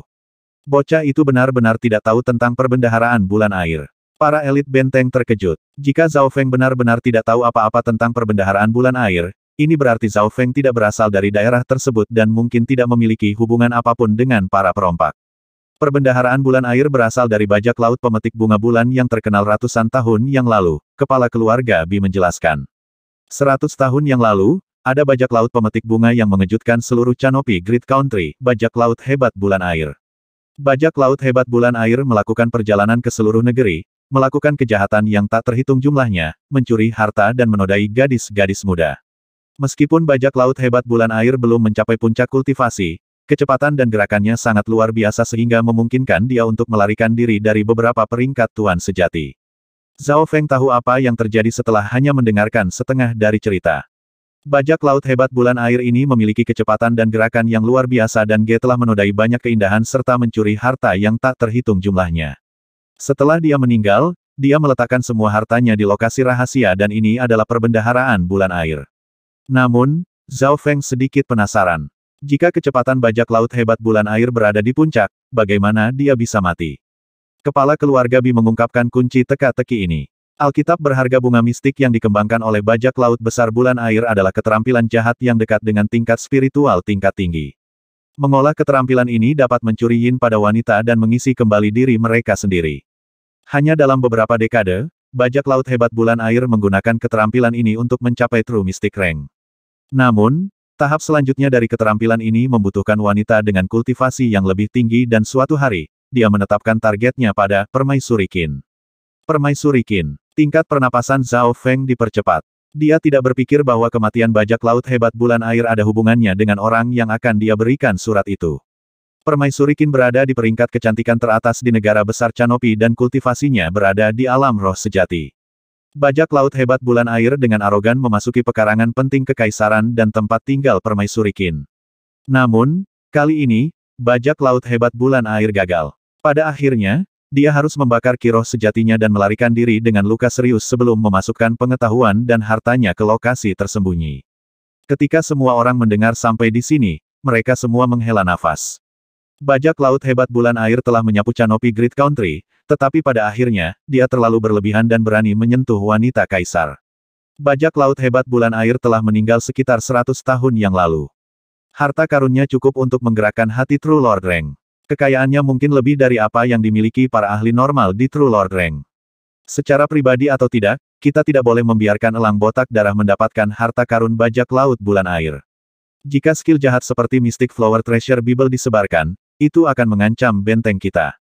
Tuan Bi menggertakkan giginya. Ini disetujui oleh semua orang. Itu benar, kita harus menghentikan para perompak untuk mengambil perbendaharaan. Benteng kita perlu bekerja sama untuk memperjuangkan perbendaharaan dan menghancurkan Mystic Flower Treasure Bible. Kelompok itu berkata dengan benar dan segera membentuk kelompok yang kuat untuk pertempuran.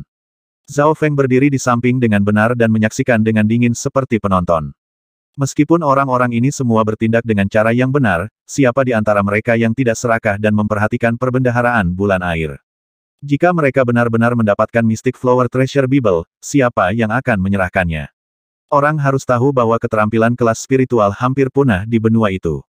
Bahkan warisan petir Zhao Feng hanya sebanding dengan keterampilan tingkat spiritual tingkat tinggi. The Mystic Flower Treasure Bible adalah keterampilan jahat yang memungkinkan kultivator meningkatkan kultivasi mereka dengan cepat dalam waktu singkat. Segera, pihak benteng perairan transversal menyerbu ke kedalaman teluk di bawah komando Master B. Dari para elit ini termasuk Zhao Feng dari bantuan luar. Zhao Feng bahkan bisa merasakan bahwa setidaknya empat orang dalam kelompok itu mengawasi setiap gerakannya. Selain Zhao Feng, Bi Qiaoyu juga termasuk dalam party. Gadis muda yang berusia 12 hingga 13 tahun ini berbakat dan telah mencapai langit kelima dari alam naik. Namun di mata Zhao Feng, Bi Qiaoyu berpartisipasi dengan kekuatan dan pengalamannya adalah beban. Banyak eselon atas bingung dan kepala keluarga Bi menentangnya, tetapi Master Bi telah memerintahkan Bi Qiaoyu sendiri untuk datang. Qiao Yu pintar dan unggul dalam susunan dan mekanik, setelah belajar dari master mekanik. Menurut apa yang saya tahu, bajak laut bulan air mahir dalam mekanik dan susunan. Dapat dibayangkan bahwa perbendaharaannya penuh dengan jebakan dan mekanisme. Guru Bi menjelaskan, dia adalah satu-satunya di alam roh sejati di sini dan posisinya tidak tergoyahkan di benteng air transversal. Karena Master Bi telah membuat keputusan, tidak ada yang membantah. Bi Qiaoyu tidak bersalah dan murni. Mendengar bahwa dia akan bertarung dengan bajak laut, dia merasa itu menyenangkan dan menerimanya. Dalam perjalanan, dia bermain dengan kucing pencuri kecil dan suara kebahagiaannya menciptakan kegembiraan bagi kelompok yang pendiam dan menyendiri. Bi Qiaoyu mulai mempelajari mekanisme dan susunan sejak usia muda dan perbendaharaan bulan air secara kebetulan ada di sini. Apakah hal-hal ini kebetulan? Zhao Feng curiga, tapi dia tidak bertanya apa-apa agar tidak menarik kecurigaan Master Bi. Parti itu bertemu dengan beberapa gerombolan bajak laut di jalan dan jelas-jelas membantai mereka. Lagi pula, sebagian besar orang di sini berasal dari langit keenam dan mereka memiliki ahli di alam roh sejati di sini. Setelah melewati sekitar 100 mil, sebuah sungai muncul di depan parti. Sungai ini sangat aneh, di permukaannya tampak sangat tenang tetapi di bawahnya ada pusaran air yang tak terhitung jumlahnya. Di pantai ada kapal bajak laut dan ketika pesta tiba, orang-orang di kapal sedang menunggu. Perompak di kapal juga elit dan pemimpinnya mengenakan penutup mata hitam dan jubah merah. Dia memiliki ekspresi brutal dan dia berada di pusat bajak laut seolah-olah dia adalah raja. Kekuatan bajak laut juga cukup besar dan tidak jauh berbeda dengan benteng air transversal. Orang tua Bi, Anda kehilangan kaki dan bahkan membakar kiroh sejati Anda di bawah luka parah. Bukankah seharusnya kamu beristirahat daripada datang untuk memperjuangkan perbendaharaan? Orang berjubah merah bermata satu itu menjilat bibirnya dan melepaskan aura dominan berdarah dari alam roh sejati dengan niat membunuh yang begitu dingin hingga menyentuh hati. Sekelompok pengunduran diri. Hahaha. Para perompak di kapal mulai tertawa mengerikan. Orang berjubah merah bermata satu terkemuka dengan penutup mata hitam juga botak. Titik. Dia adalah pemimpin terkenal dari bajak laut darah terputus, elang botak darah terputus. Zhao Feng memeriksa orang ini dengan matanya dan menemukan bahwa, meskipun dia dan Master B berada di peringkat manusia sejati, aura elang botak darah terputus jauh lebih kuat daripada Master B. Tidak heran dia hampir bisa berhasil membunuh Master B. Elang botak darah terputus, perbendaharaan bulan air adalah wilayah benteng air transversal saya. Anda sebaiknya pergi dengan cepat, jika tidak, kami akan menghabisi kalian semua dalam satu pukulan ketika bala bantuan kami tiba. Master B berkata dengan nada yang dalam, kata-katanya menusuk langsung ke hati. Ekspresi para perompak di kapal berubah. Jumlah orang yang diambil Master B semuanya elit tetapi jumlahnya terbatas. Kenyataannya, benteng air transversal memiliki jumlah pasukan yang lebih banyak, dan seiring berjalannya waktu, situasinya tidak akan baik untuk para perompak. Kami sudah mengirimkan berita dan jika saya tidak salah, elang botak darah terputus dijamin oleh agama darah besi dan keluarga kekaisaran. Kepala keluarga B mencibir dingin. Kelompok dari benteng juga tidak menahan dan membalas, tetapi tidak satupun dari mereka menunjukkan tanda-tanda menyerang. Kedua kekuatan memiliki kekuatan yang sama, tetapi pihak yang benar-benar tidak ingin bertarung adalah Master B. Mata tajam Zhao Feng mengamati seluruh situasi. Mengapa Tuan B tidak mau bertarung? Pada saat itu, mata spiritual Dewa Zhao Feng melihat luka-luka Guru B. Tuan B telah membakar ki kekuatan sejatinya dan salah satu kakinya cacat. Kekuatannya saat ini hanya 60% dari kekuatan puncaknya. Di sisi lain, meskipun elang botak darah terputus juga terluka, dia masih memiliki 80% atau bahkan lebih dari kekuatan aslinya. Perkiraan Zhao Feng tentang kekuatan mereka akurat sampai pada tingkat yang bahkan Master B dan elang botak darah terputus tidak mengetahui hal ini. Master B tidak berani melawan elang botak darah terputus dan malah menciptakan situasi di mana kedua belah pihak setara. Selanjutnya, Keluarga Bi telah mengatakan bahwa mereka telah menyebarkan berita tersebut. Dengan cara ini, elang botak darah terputus tidak berani bertarung untuk waktu yang lama. Mereka harus segera menyelesaikan pertarungan atau melakukan pembicaraan damai. Tidak realistis untuk menyelesaikan pertarungan dengan segera karena kedua belah pihak memiliki kekuatan yang sama dan mungkin ada orang lain yang menunggu untuk menuai hasil setelah mereka. Ekspresi elang botak darah terputus berubah tanpa henti. Dia tidak yakin apakah benteng air transversal telah menyebarkan berita atau tidak, tetapi Zhao Feng jelas tahu bahwa benteng itu tidak. Sebaliknya, mereka telah menutup benteng karena perbendaharaan bulan air terlalu penting dan dapat membawa lebih banyak ahli yang menakutkan dari luar, yang berarti bahwa tidak ada dari mereka yang akan mendapatkan perbendaharaan. Sekitar separuh waktu yang dibutuhkan untuk menyeduh teh telah berlalu. Benteng air transversal dan bajak laut darah terputus mencapai kesepakatan. Kedua pihak akan sama-sama membuka perbendaharaan. Bajak laut darah terputus jelas tidak mau tetapi wajah elang botak tenang. Ini adalah wilayah benteng air transversal dan tujuannya untuk membuka perbendaharaan telah tercapai. Selanjutnya, pertempuran untuk perbendaharaan adalah tentang keberanian dan kecerdasan. Orang-orang dari benteng memiliki perasaan yang lucu mereka biasanya akan bertarung dengan bajak laut, siapa yang mengira mereka akan bekerja sama. Tentu saja, benteng air transversal juga beruntung karena bajak laut darah terputuslah yang memiliki lokasi perbendaharaan yang tepat atau jika tidak, itu tidak akan berkembang semulus jika Master B dan teman-temannya ingin membuka perbendaharaan bulan air. Ketika Zhao Feng memikirkan hal ini, dia semakin mengagumi Guru B. Lokasi perbendaharaan bulan air berada beberapa ratus kaki di bawah sungai di sebuah gua rahasia. Namun, pusaran air di sungai bahkan dapat menarik kapal-kapal besar pembudidaya normal di alam ascendet tidak akan dapat memblokirnya. Elang botak darah terputus berkata tanpa ekspresi. Kapal bajak laut itu berlabuh di pantai dan tidak berani memasuki zona itu. Mata spiritual Dewa Zhao Feng mengamati air dan melihat banyak pusaran air. Pusaran air ini sangat kuat dan bahkan para ahli di tujuh sky mungkin tidak dapat mundur sepenuhnya tanpa cedera. Namun, dari permukaan, airnya tampak tenang dan sunyi. Berikutnya, Kedua pihak mengirim orang yang diikat dengan tali ke zona pusaran air untuk mencari gua rahasia bulan air. Benteng air transversal pertama kali mengirim dua ahli di langit ke-6 dan ke-7 untuk mencari di sungai. Pakar di langit ke-6 berhenti bergerak hampir seketika dan ketika dia ditarik keluar, tubuhnya dingin sementara wajahnya memutih. Seolah-olah dia telah dihancurkan oleh kekuatan tertentu. Melihat ini, para perompak penuh dengan Sadenfrude. Pakar lain di langit ketujuh masuk untuk waktu yang singkat sebelum berjuang dan ditarik keluar. Pusaran air di kedalaman sungai mengandung daya tarik yang menakutkan dan tekanan yang menghancurkan. Ekspresi ahli di langit ketujuh berwarna putih pucat dan tidak memiliki energi. Ekspresi Guru Bi menjadi serius. Jika pintu masuk perbendaharaan bulan air begitu mudah ditemukan, mengapa para perompak menunggu mereka?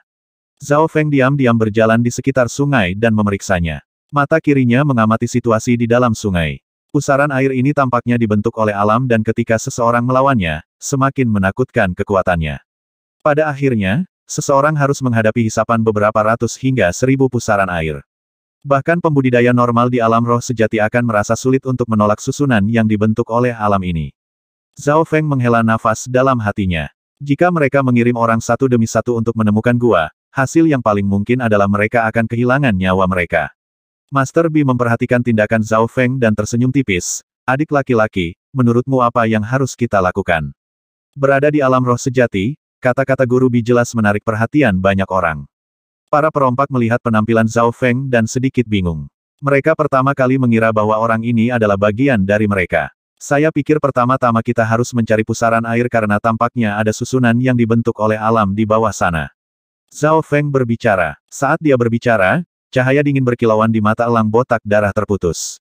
Apakah bocah ini memiliki beberapa keterampilan atau itu kebetulan? Elang botak darah terputus bertukar pandang dengan tetua berjubah biru di sebelahnya. Penatua berjubah biru menyipitkan matanya dan tertawa ketika dia melirik Zhao Feng. Bocah ini mungkin tahu satu atau dua tentang arai. Bajak laut darah terputus sudah mencari cara untuk memecahkan susunan di bawah ini, tetapi secara teknis tidak mungkin melakukannya karena itu sama dengan menghadapi kekuatan langit dan bumi yang tak terbatas. Oleh karena itu, bajak laut darah terputus berusaha mencari tahu rute di mana mereka hanya akan melewati pusaran air yang paling lemah. Sederhananya, itu menemukan cacat atau titik lemah dalam arai. Memiliki jalur yang jelas, orang-orang di kedua belah pihak yang tahu tentang arai mulai berdiskusi. Bi Qiaoyu dan dua tetua lainnya yang unggul dalam susunan mulai menjelajah. Pada titik waktu ini, baik benteng air transversal dan bajak laut darah terputus mencoba yang terbaik untuk mencari solusi dengan mengirim orang ke bawah dari waktu ke waktu. Zhao Feng menatap dingin ke samping dan berjalan mengitari sungai sekali lagi. Kedua belah pihak sedang mendiskusikan bagaimana menghindari pusaran air dan menemukan jalan menuju pintu masuk. Ai, sekelompok orang bodoh. Zhao Feng menghela nafas dalam hatinya. Betul sekali. Mata spiritual Dewa Zhao Feng telah menemukan jalur terbaik dari barisan dan hampir yakin di mana pintu masuknya berada. Jika bajak laut darah terputus mengetahui hal ini, mereka mungkin akan muntah darah. Orang harus tahu bahwa mereka telah membayar harga yang mengerikan untuk menemukan pintu masuk dan telah kehilangan elit yang lebih dari apa yang bisa dihitung dengan dua tangan, tetapi yang dilakukan Zhao Feng hanyalah berjalan di sekitar sungai dua kali. Waktu berlalu perlahan. Kedua belah pihak mencapai kemacetan dalam menemukan pintu masuk. Pengetahuan Bi Qiaoyu dalam susunan melampaui apa yang dipikirkan Zhao Feng tetapi cara berpikir mereka salah. Sepertinya aku harus sedikit membantu mereka. Zhao Feng berpikir, dia tidak memiliki niat untuk menyimpan semua harta itu untuk dirinya sendiri karena hanya masalah waktu sebelum orang-orang ini mencapai pintu masuk dan semakin lama mereka, semakin banyak orang akan tiba dan ini tidak ada manfaatnya bagi Zhao Feng. Ada pepatah, tempat paling berbahaya adalah tempat teraman. Zhao Feng berjalan di sebelah Bi Qiaoyu dan berkata dengan lembut. Kedua tetua yang juga mahir dalam arai tidak mengerti dan terlihat jijik. Oh, saya mengerti. Terima kasih saudara Zhao. Kamu pasti jenius. Bi Qiaoyu berkata dengan penuh semangat dan semua orang berbalik untuk melihatnya. Wajah Bi Qiaoyu merah cerah dan penuh senyuman, perbendaharaan bulan air seharusnya berada di pusat pusaran air di tempat yang paling berbahaya. Jika saya tidak salah, kunci arai seharusnya ada di sana. Tidak mungkin, Tempat pusaran air yang paling berbahaya bahkan dapat merobek para pembudidaya di alam roh sejati setengah langkah menjadi serpihan. Salah satu tetua membalas dan ketika Zhao Feng mendengar ini, dia hampir mulai mengutuk.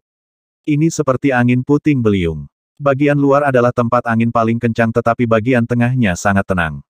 Ini lebih satu menolak dalam arai pusaran air ini, semakin banyak hisap. Di sisi lain, jika Anda hanya mengikuti arus, Anda mungkin dapat mencapai kunci arai tanpa membayar terlalu banyak harga. Bi Qiaoyu dengan cepat menjelaskan. Hanya dalam satu pidato, dia telah memecahkan susunannya. Apa yang dia katakan itu benar dan logis. Mata tetua berjubah biru dari sisi bajak laut menyala. Mereka tidak bodoh, hanya saja cara berpikir mereka salah dan secara naluriah ingin menghindari zona paling berbahaya. Namun, kenyataannya justru sebaliknya. Tempat paling berbahaya sebenarnya adalah tempat paling aman. Selanjutnya, lokasi perbendaharaan bulan air harus berada di lokasi tertentu. Jika seseorang tidak mau mengambil risiko, bagaimana mereka akan mendapatkan imbalan?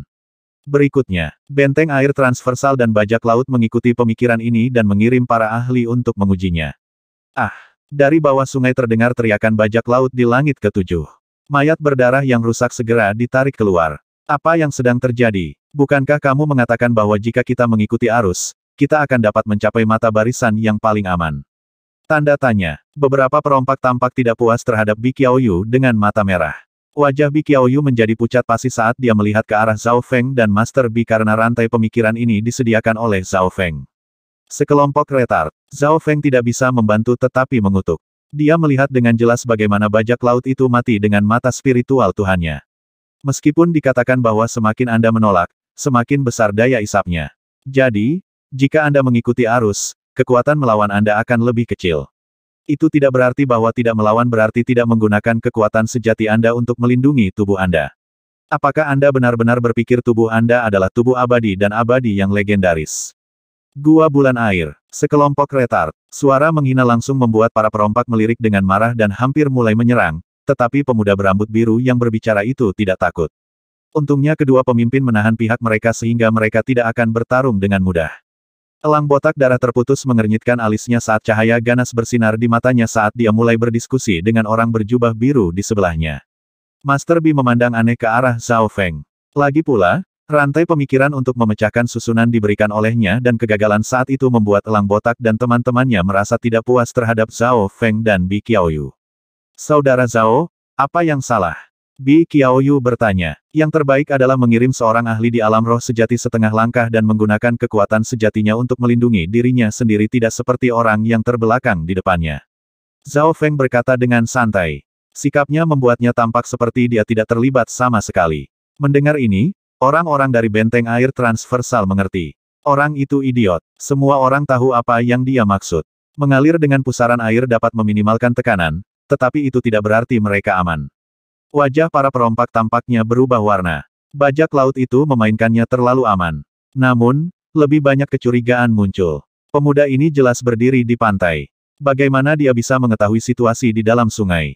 Orang berjubah biru itu mengerutkan alisnya. Dari orang-orang yang hadir, hanya rasa spiritual dari dua alam roh sejati yang dapat melihat situasi dengan jelas di dalam sungai. Master B memiliki ekspresi bijaksana dan mengingat garis keturunan Zhao Feng ketika dia menjemputnya. Berikutnya, menurut saran Zhao Feng, kedua belah pihak mengirim seorang pembudidaya di alam roh sejati setengah langkah untuk mengalir dengan pusaran air. Pada saat ini, dua ahli di alam roh sejati menggunakan sense spiritual mereka. Dalam keadaan normal, Sense spiritual dari mereka yang berada di True Human Rank biasanya dapat menjangkau bermil-mil, tetapi di area ini, itu sangat dibatasi. Mata spiritual Dewa Zhao Feng dengan mudah mengamati situasi di bawah. Kali ini, keduanya yang tenggelam menggunakan kekuatan sejati mereka untuk melindungi diri mereka sendiri dan tidak menahan aliran air. Mereka langsung mendarat di kedalaman sungai. Kedalaman sungai sangat luas dan perlu dieksplorasi.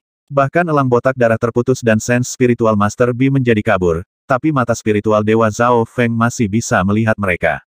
Dia bahkan tahu di mana perbendaharaan bulan air berada. Setengah waktu yang dibutuhkan untuk membuat teh telah berlalu sebelum dua lampu terang menyala sekali di dasar sungai. Kesuksesan. Master Bidan Elang Botak Darah terputus keduanya mengungkapkan ekspresi gembira ketika mereka melihat sinyal yang dikirim oleh dua orang di bawah. Zhao Feng menatap dengan serius ke kedalaman sungai. Meskipun sangat mudah untuk melewati area ini, bagaimana mereka akan kembali? Jika mereka ingin kembali, mereka harus melawan arus. Hanya mereka yang berada di alam roh sejati yang dapat kembali dengan selamat. Namun, hanya sejumlah kecil orang yang bisa memikirkan hal ini. Sebagian besar yang lain dipenuhi dengan keserakahan oleh hadiah dari perbendaharaan bulan air. Plop plop plop. Kedua belah pihak melompat ke pusaran air. Semua orang masuk. Master B tidak bisa menahan kegembiraan di wajahnya saat dia memimpin serangan ke pusaran air. Zhao Feng hendak menghentikan mereka tetapi tidak ada cukup waktu. Menurut analisisnya, meski mengalir dengan arus akan menurunkan tekanan, bukan berarti tidak ada batasan sama sekali. Misalnya jika seorang kultivator di konsolidate realm masuk, mereka akan langsung terkoyak.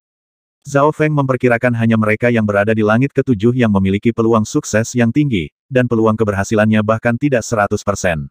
Bagaimanapun, kekuatan pusaran air semuanya berbeda dan itu tergantung pada keberuntungan.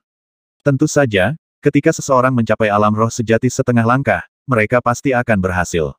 Zhao Feng memasuki pusaran air dengan Bi Qiaoyu dan Master Bi memerintahkan dua ahli di alam roh sejati setengah langkah termasuk kepala keluarga Bi untuk melindungi Bi Qiaoyu.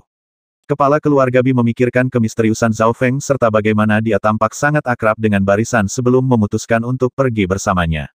Dia terbukti telah bertaruh dengan benar. Orang-orang yang mengikuti Zhao Feng mengalami hisapan yang lebih lemah dari yang mereka bayangkan.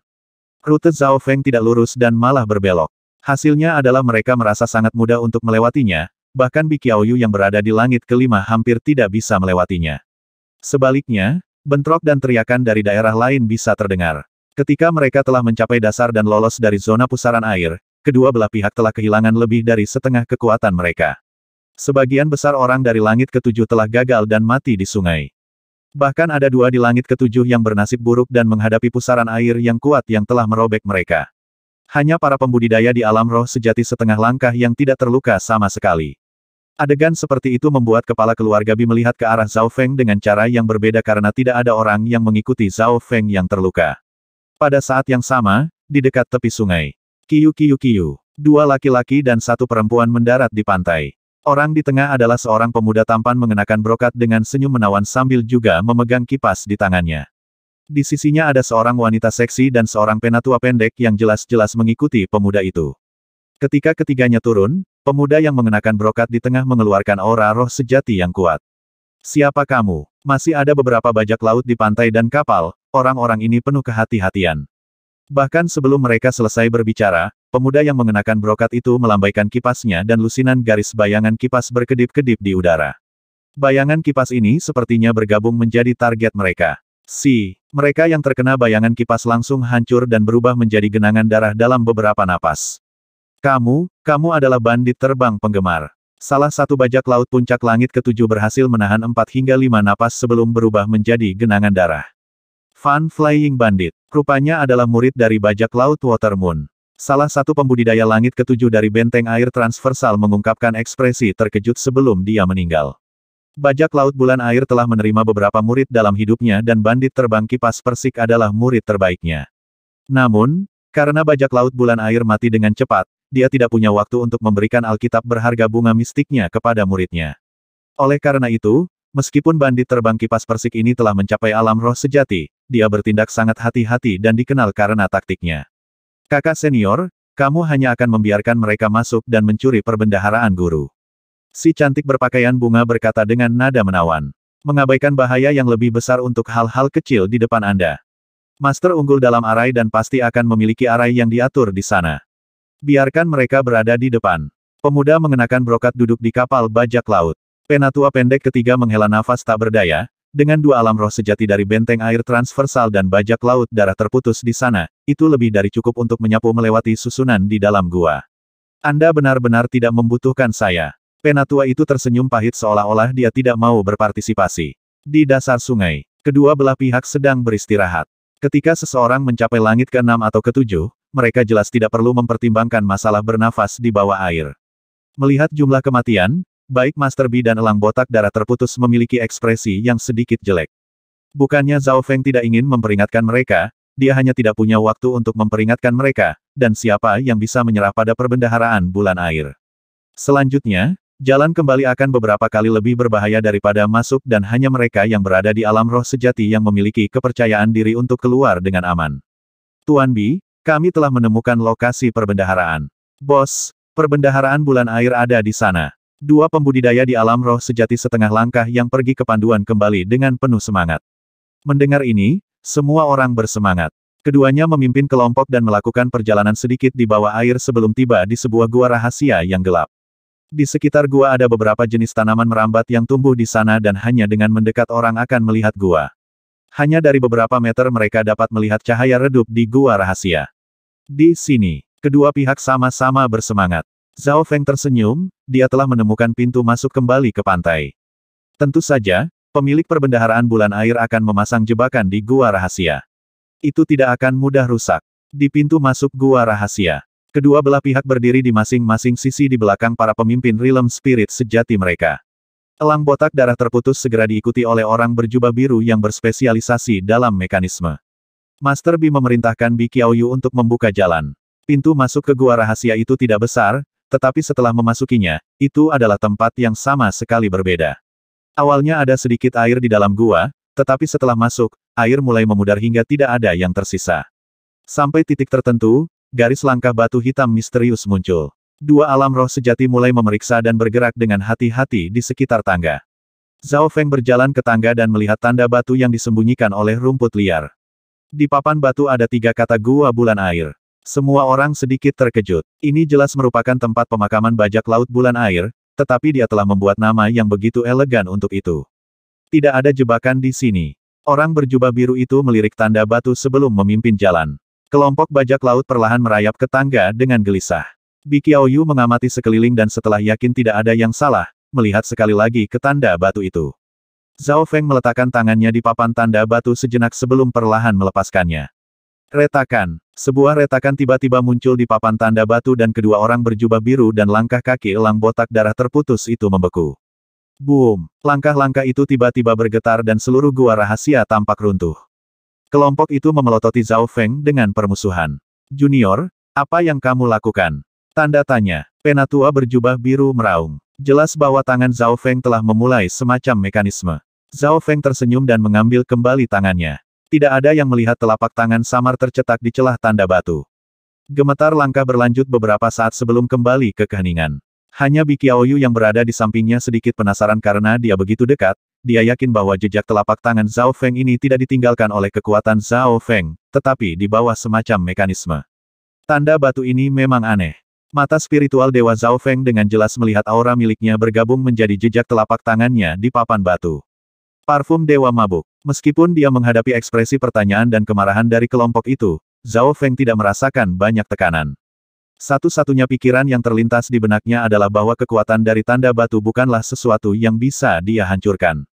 Lalu bagaimana tanda batu itu retak dan jejak telapak tangannya tercetak di dalamnya.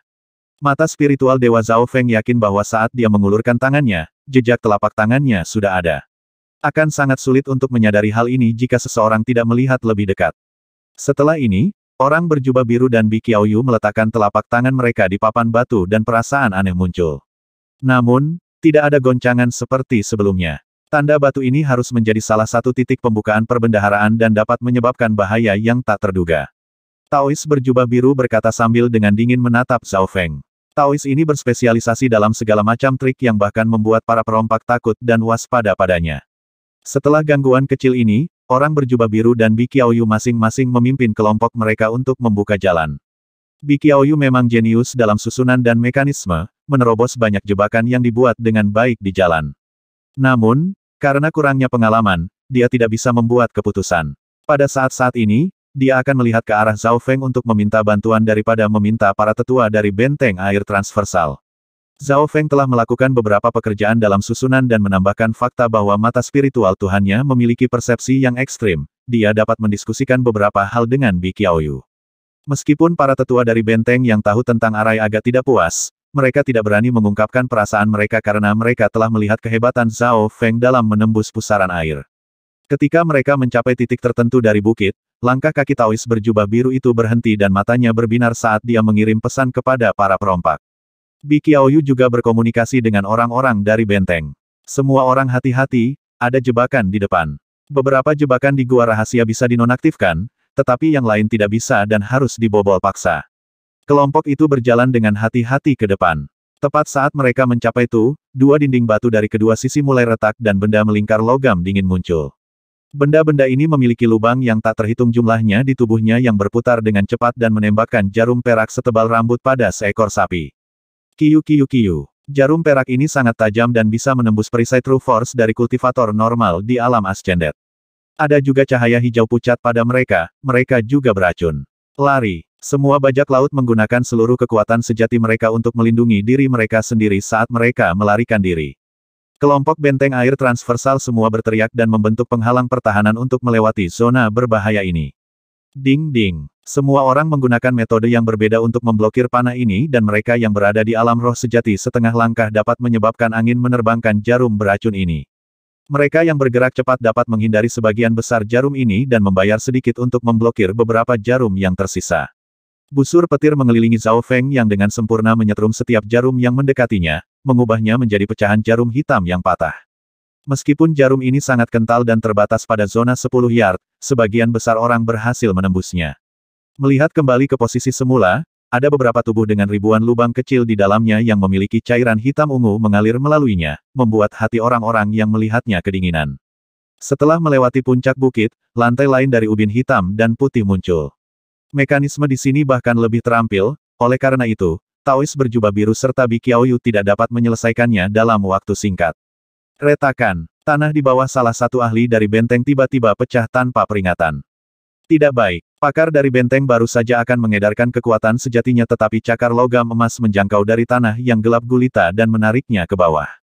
Ah, sebuah jeritan bergema dari lubang, tetapi ketika ubin hitam dan putih sekali lagi muncul di tempat itu, teriakan itu berhenti.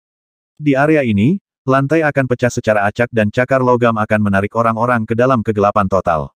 Cakar logam ini sangat misterius dan dapat secara otomatis meraih makhluk hidup terdekat. Salah satu bajak laut berpura-pura pintar dan melayang di udara sehingga kakinya tidak menyentuh tanah tetapi salah satu cakar logam masih terulur dan merobek salah satu kakinya. Ruang di dalam gua rahasia terbatas sehingga seseorang tidak bisa terbang terlalu tinggi. Oleh karena itu jangkauan cakar logam tidak dibatasi oleh ketinggian. Ubin hitam dan putih sangat berbahaya. Kecepatan dan ketepatan cakar logam sangat bagus dan bahkan seorang pembudidaya di alam roh sejati setengah langkah hampir ditarik ke tanah, tetapi diselamatkan oleh Master B. Zhao Feng juga berjalan dengan hati-hati karena mata spiritual Tuhannya hanya bisa melihat melalui lantai hitam dan putih dan melihat mekanisme di bawah. Saat memasang jebakan, sense spiritual dari mereka yang berada di alam roh sejati telah dipertimbangkan oleh karena itu lantainya sangat tahan terhadap indera. Hati-hati, Zhao Feng tiba-tiba mengulurkan tangan dan menarik Bi Qiaoyu ke samping. Retakan, ubin hitam dan putih di bawah Bi Qiaoyu tiba-tiba runtuh saat cakar logam terulur tetapi berputar ke arah Zhao Feng setelah meleset. Sua, ding, sosok Zhao Feng berkedip dan menghindari cakarnya sejauh satu sentimeter saat bunga api beterbangan di tempat dia baru saja berada. Terima kasih, jebakan itu sangat tersembunyi. Bahkan aku tidak yakin akan hal itu. Bi Qiaoyu menjulurkan lidahnya sementara Tuan Bi menganggukkan kepalanya ke samping. Bantuan luar Zhao Feng tidak terukur atau dengan kultivasi dan pengalamannya yang rendah, bagaimana dia bisa menjadi pasangan Taois berjubah biru. Orang berjubah biru dari sisi bajak laut melirik dingin ke arah Zhao Feng. Bocah berambut biru ini, niat membunuh melintas di mata elang botak darah terputus. Jika bukan karena Zhao Feng, cedera dan kematian orang-orang dari benteng akan melebihi bajak laut. Namun, karena keberadaan pemuda ini, membuat kedua belah pihak mencapai hasil imbang. Setiap langkah lebih sulit daripada yang terakhir dan satu atau dua tubuh akan tertinggal di setiap jarak pendek. Meskipun Zhao Feng tidak tahu banyak tentang mekanisme, mata spiritual Tuhannya bisa menjaga segala sesuatu di depan matanya. Satu jam kemudian, mereka yang berkultivasi di bawah langit ketujuh, selain dari Bi Qiaoyu yang sangat dilindungi, hampir semuanya meninggal. Pada saat ini, koridor batu giok muncul yang sepertinya tidak memiliki tanda-tanda jebakan di dalamnya. Gua rahasia ini didirikan seperti tanah pemakaman. Ketika seseorang sampai di sini, mereka mungkin bisa masuk ke tengah. Taois berjubah biru itu tersenyum. Petik terbalik dia telah banyak membantu para perompak dengan memecahkan segala macam mekanisme untuk mereka. Master Bi memuji Bi Qiaoyu dan menunjukkan rasa terima kasih kepada Zhao Feng yang merupakan orang luar. Dari permukaan, sepertinya koridor itu tidak memiliki tanda-tanda mekanisme dan Zhao Feng juga tidak menemukan apa pun dengan mata spiritual Tuhannya. Mungkin kita telah meninggalkan zona bahaya. Kepala keluarga Bi mengungkapkan ekspresi bahagia. Yang pasti, baik Bi Qiaoyu dan orang berjubah biru menggunakan tangan mereka untuk mengetuk struktur kayu di koridor. Kayu itu mengeluarkan bau memesona yang memberi banyak kenangan kepada orang-orang. Alis Zhao Feng berkerut karena dia merasa ada yang tidak beres. Bagaimana sebuah gua rahasia dengan sejarah sekitar 100 tahun memiliki bau seperti itu? Tidak baik, ekspresi Taois berjubah biru tiba-tiba berubah, struktur koridor mengandung beberapa bentuk obat. Kita seharusnya tidak mengetuk struktur ini. Sosok kecil Bi Qiaoyu menjadi lembut dan wajahnya menjadi sedikit merah dia bahkan tidak bisa berdiri dengan benar. Kedua belah pihak hanya merasakan darah mendidih di dalam diri mereka sendiri dan tidak dapat mengendalikan tubuh mereka. Zhao Feng merasakan nyala api di tubuhnya saat wajah Bi Qiaoyu berubah menjadi pikiran yang tak terhitung jumlahnya di benaknya. Ini tidak bagus. Ini mungkin parfum Dewa Mabuk. Parfum ini akan menyebabkan seseorang menyerah pada keinginan mereka dan memiliki efek dua kali lipat pada wanita. Seru Guru Bi. Parfum Dewa Mabuk. Kelompok itu hanya merasakan pikiran mereka berdengung dan para pria tidak bisa menahan nafsu mereka. Selanjutnya, ilusi mulai muncul di pikiran mereka yang meningkatkan keinginan mereka. Dari bajak laut, salah satu wanita jatuh ke tanah dan menanggalkan pakaiannya. Mengaum, beberapa bajak laut bergegas menuju wanita itu dan merobek pakaiannya, memperlihatkan kulit putih salju dan suara engahan muncul. Perompak lain menatap dengan rakus pada Bi Qiaoyu yang berada di sebelah Zhao Feng. Wajah Bi Qiaoyu semerah darah dan sosoknya sedikit gemetar saat dia melompat ke dada Zhao Feng. Ta, berhenti. Pada saat kritis, dua aura milik alam roh sejati dilepaskan. Namun, parfum Dewa Mabuk dapat mengikis tubuh dan energi mental seseorang sehingga sebagian besar orang hanya membeku sesaat sebelum menyerah pada keinginan mereka. Dua pria parubaya dan satu pria tua dari benteng air transversal meraung seperti binatang buas dan pergi ke arah Bi Qiaoyu. Ses. Pakaian Bi Qiaoyu dirobek hingga memperlihatkan sepasang kelinci yang membuat mulutnya berair. Parfum Dewa Mabuk dapat mempengaruhi pria dan wanita dan akan membuat wanita tidak berdaya. Zhao Feng hanya merasakan sosok Bi Qiaoyu yang belum sepenuhnya berkembang mengeluarkan bau yang memikat saat bibirnya yang lembut mencium lehernya. Mengaum, mengaum, lima hingga enam orang dari kubu dan bajak laut menyerbu ke arah Bi Qiaoyu. Situasi saat ini, Bahkan mereka yang berada di alam roh sejati setengah langkah hampir tidak bisa mengendalikan tubuh mereka dan hampir menyerah. Parfum Dewa Mabuk bahkan memiliki efek kuat pada mereka yang berada di alam roh sejati. Jika elang botak darah terputus dan Master B keduanya wanita dengan efek ganda, bahkan mereka akan terbaring di tanah tak berdaya. Yang bisa mereka lakukan sekarang hanyalah melepaskan aura true spirit realm mereka dan meneriaki orang-orang atau memblokir mereka. Kiao Yu, kepala keluarga Bi berteriak tetapi bahkan dia hampir tidak bisa menahan diri. Jika dia tidak bisa, dia akan menjadi salah satu dari binatang buas itu juga. Master B hanya bisa menahan dua ahli dari kubu. Keduanya menyaksikan sekelompok serigala lapar melompat ke arah Bi Qiaoyu, domba dan menutup matanya karena naluri. Pada saat yang sama, wanita bajak laut itu diselimuti oleh tujuh atau delapan pria dan sosok putih saljunya hampir dicabik-cabik oleh sekawanan serigala lapar. Sama seperti Bi Qiaoyu akan jatuh ke dalam mimpi buruk yang tak ada habisnya. Mengaum-mengaum, lima atau enam sosok lapar melompat ke arah Bi Qiaoyu. Zhao Feng menghela nafas dan melepas penutup mata peraknya. Mata biru es mengamati orang-orang yang menyerbu. Energi mental yang mengerikan langsung melewati udara dan sosok serakah semuanya membeku di tengah jalan. Bahkan nafsu di mata mereka tampak membeku. 285.